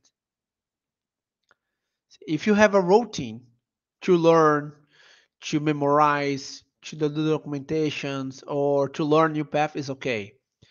But don't focus 100% of your life on the job. You are not your job. That's a mistake that I that I that I that I did, and as you learn to reduce it. I mean, being a software engineer is one thing that I love to, but it's not me. It's a part of my life. It's not my complete life. And then don't do this mistake. Okay. Work hard what's back what happened, but play hard. Enjoy your life. Stay with your family, your friends, colleagues, and so on. Uh, uh, the next one is routine. Uh, try to have a routine to have a balance in your life, as I said. And the last one, also I said about the mistake on the tech side. Learn one thing that's tough. To forgive somebody else, I uh, at least I can say on my perspective, is much easier than forgive yourself. And try to forgive your, yourself about the mistake that we did. And again, it's a it's a it's a issue that I still handle with it. It's tough. I mean, I for me it's much easier to forgive somebody else than forgive myself. And try to forgive yourself. Understand that you are human. You you're gonna do mistakes in your life, and it's okay. And move forward. Just try to don't repeat that mistake uh, think twice before you do any kind of action. But some even when you think too much, it will appear. So be okay to forgive people and also forgive yourself. And that's all I have today, Rafa. That's awesome. That's really good content, Otavio. And uh, I think those last uh, points, I think I was guilty on this one as well. I was putting my whole life on software development and I was forgetting about the other part of life. and I noticed, okay, this is a big mistake because uh, other like otherwise, what's the point of life if you just do one thing and that's it, nothing else matters for you. Um, so that's an important lesson. And the paradox of that is that uh, if you have also some quality time with your family or if you do your hobbies, you're gonna be even more productive. You're gonna have better ideas. I agree with you. So um, it's definitely better to uh, have fun as well, uh, have quality time with your family, um, travel, you know, uh, do a hobby you like. There's so many things you can do. So uh, definitely, this is a very good lesson. And that's all for it. I know. Uh, I usually do uh, tech stuff, But once it's a closed session, why not talk about myself? It's tough uh, to show it publicly, but at least it's a closed room, so so it's not a huge deal. But my whole point is, uh, we should be more open to talk about the mistakes that we did. Uh, Ye- should yeah. do it more often, especially is- Go ahead, sorry. especially as engineer because we we are living that moment uh, because of that. Yeah, I think this is extremely important because, like what Otavio said, everyone will make mistakes. That's a fact. Uh, and the more you do, the more mistake you're gonna make. An important thing is when you make a mistake, you learn from it, and um, you don't make this mistake anymore. The problem is if you make the mistake and you continue on making the, this mistake, then um, you want to grow. So it's important to learn from your mistakes. Yeah. So Pedro said, awesome. Nice to see. Yes, Pedro. It's a a several mistakes, and sometimes we, for some reason, we- we don't have time, or I don't know why the conference does not like this kind of topics about the mistake that we did in the past. Yeah, and I think those topics are the ones that we uh, learn the most. Yes, usually are. I totally agree with you. I mean, what you struggle with and why not, and things like this are super important. Yeah. So everyone, do you have any questions for Otavio? Uh, Pedro, Boris, Eduardo, Marco, Lob. Have any questions Otavio about career or about software development or uh, architecture, whatever you want to know? Open source. Open source is um, Otavio is the guy to talk about open source. So um, if you have any questions about maybe how to get started in open source code, anything like that. If you don't have any questions, um, you're gonna miss out an opportunity to talk to Otavio. But anyway, it was So- amazing to talk with you guys, uh, share knowledge, and mainly share the mistakes Yes. and learn from it. Okay. Oh, okay. Uh, that multi- multitask is asking, please talk about Staff Plus Engineer. Oh yes, uh, Staff Plus engineer. Uh, is a kind of new career path around software engineer. So we had impression to okay, you become a senior, and the unique path was to move for a manager. It was the first step. However, it wasn't good, especially because sometimes we lost the best engineer to got a terrible manager. Then we moved to Y career, where we have the expert and then a manager. Doing this way, it was good because we, we, we were able to keep the an expert. However, this expert was too far from the strategic point of decision. And right now, everything is around technology. The technology itself is a strate- strategical resource. So the, the the point is right now the staff plus engineer is the the Y birth 2.0 where uh, this engineer is more closer to the executive decisions. He is more able, she is able to help more or more often about that decisions. Okay. And the staff plus engineer was born because of that. So it's a person who's able to take more strategic research and decisions and be closer to the, the decision takers. And he might be a decision taker as well.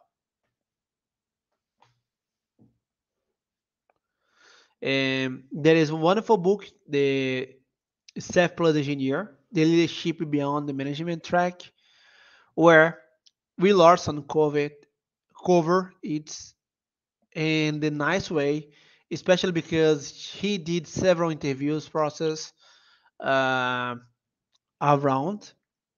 He went to several companies and then put together why we should care about staff engineer path.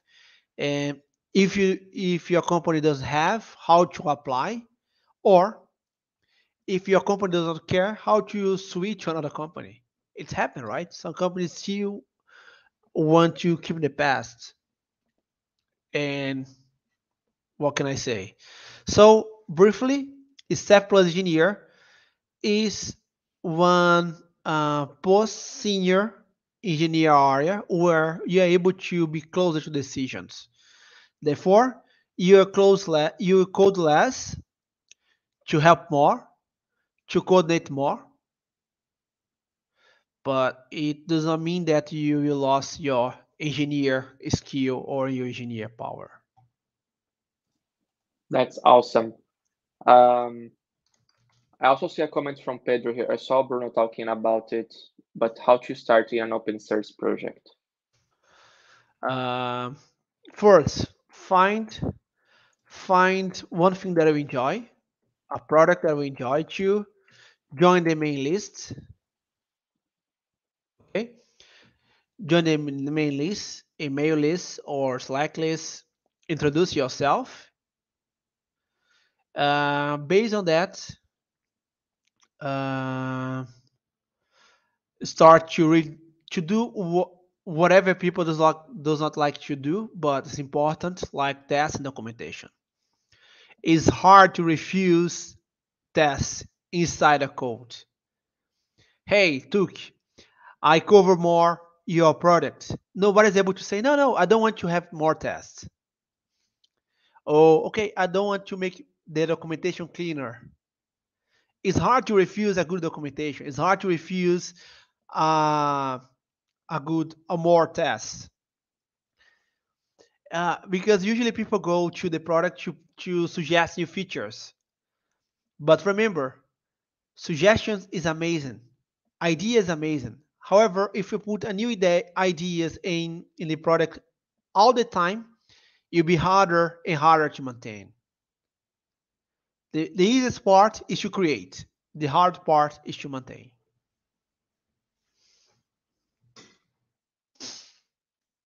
Uh, Marco is also saying here, any chance to get uh, the notes from Otavio?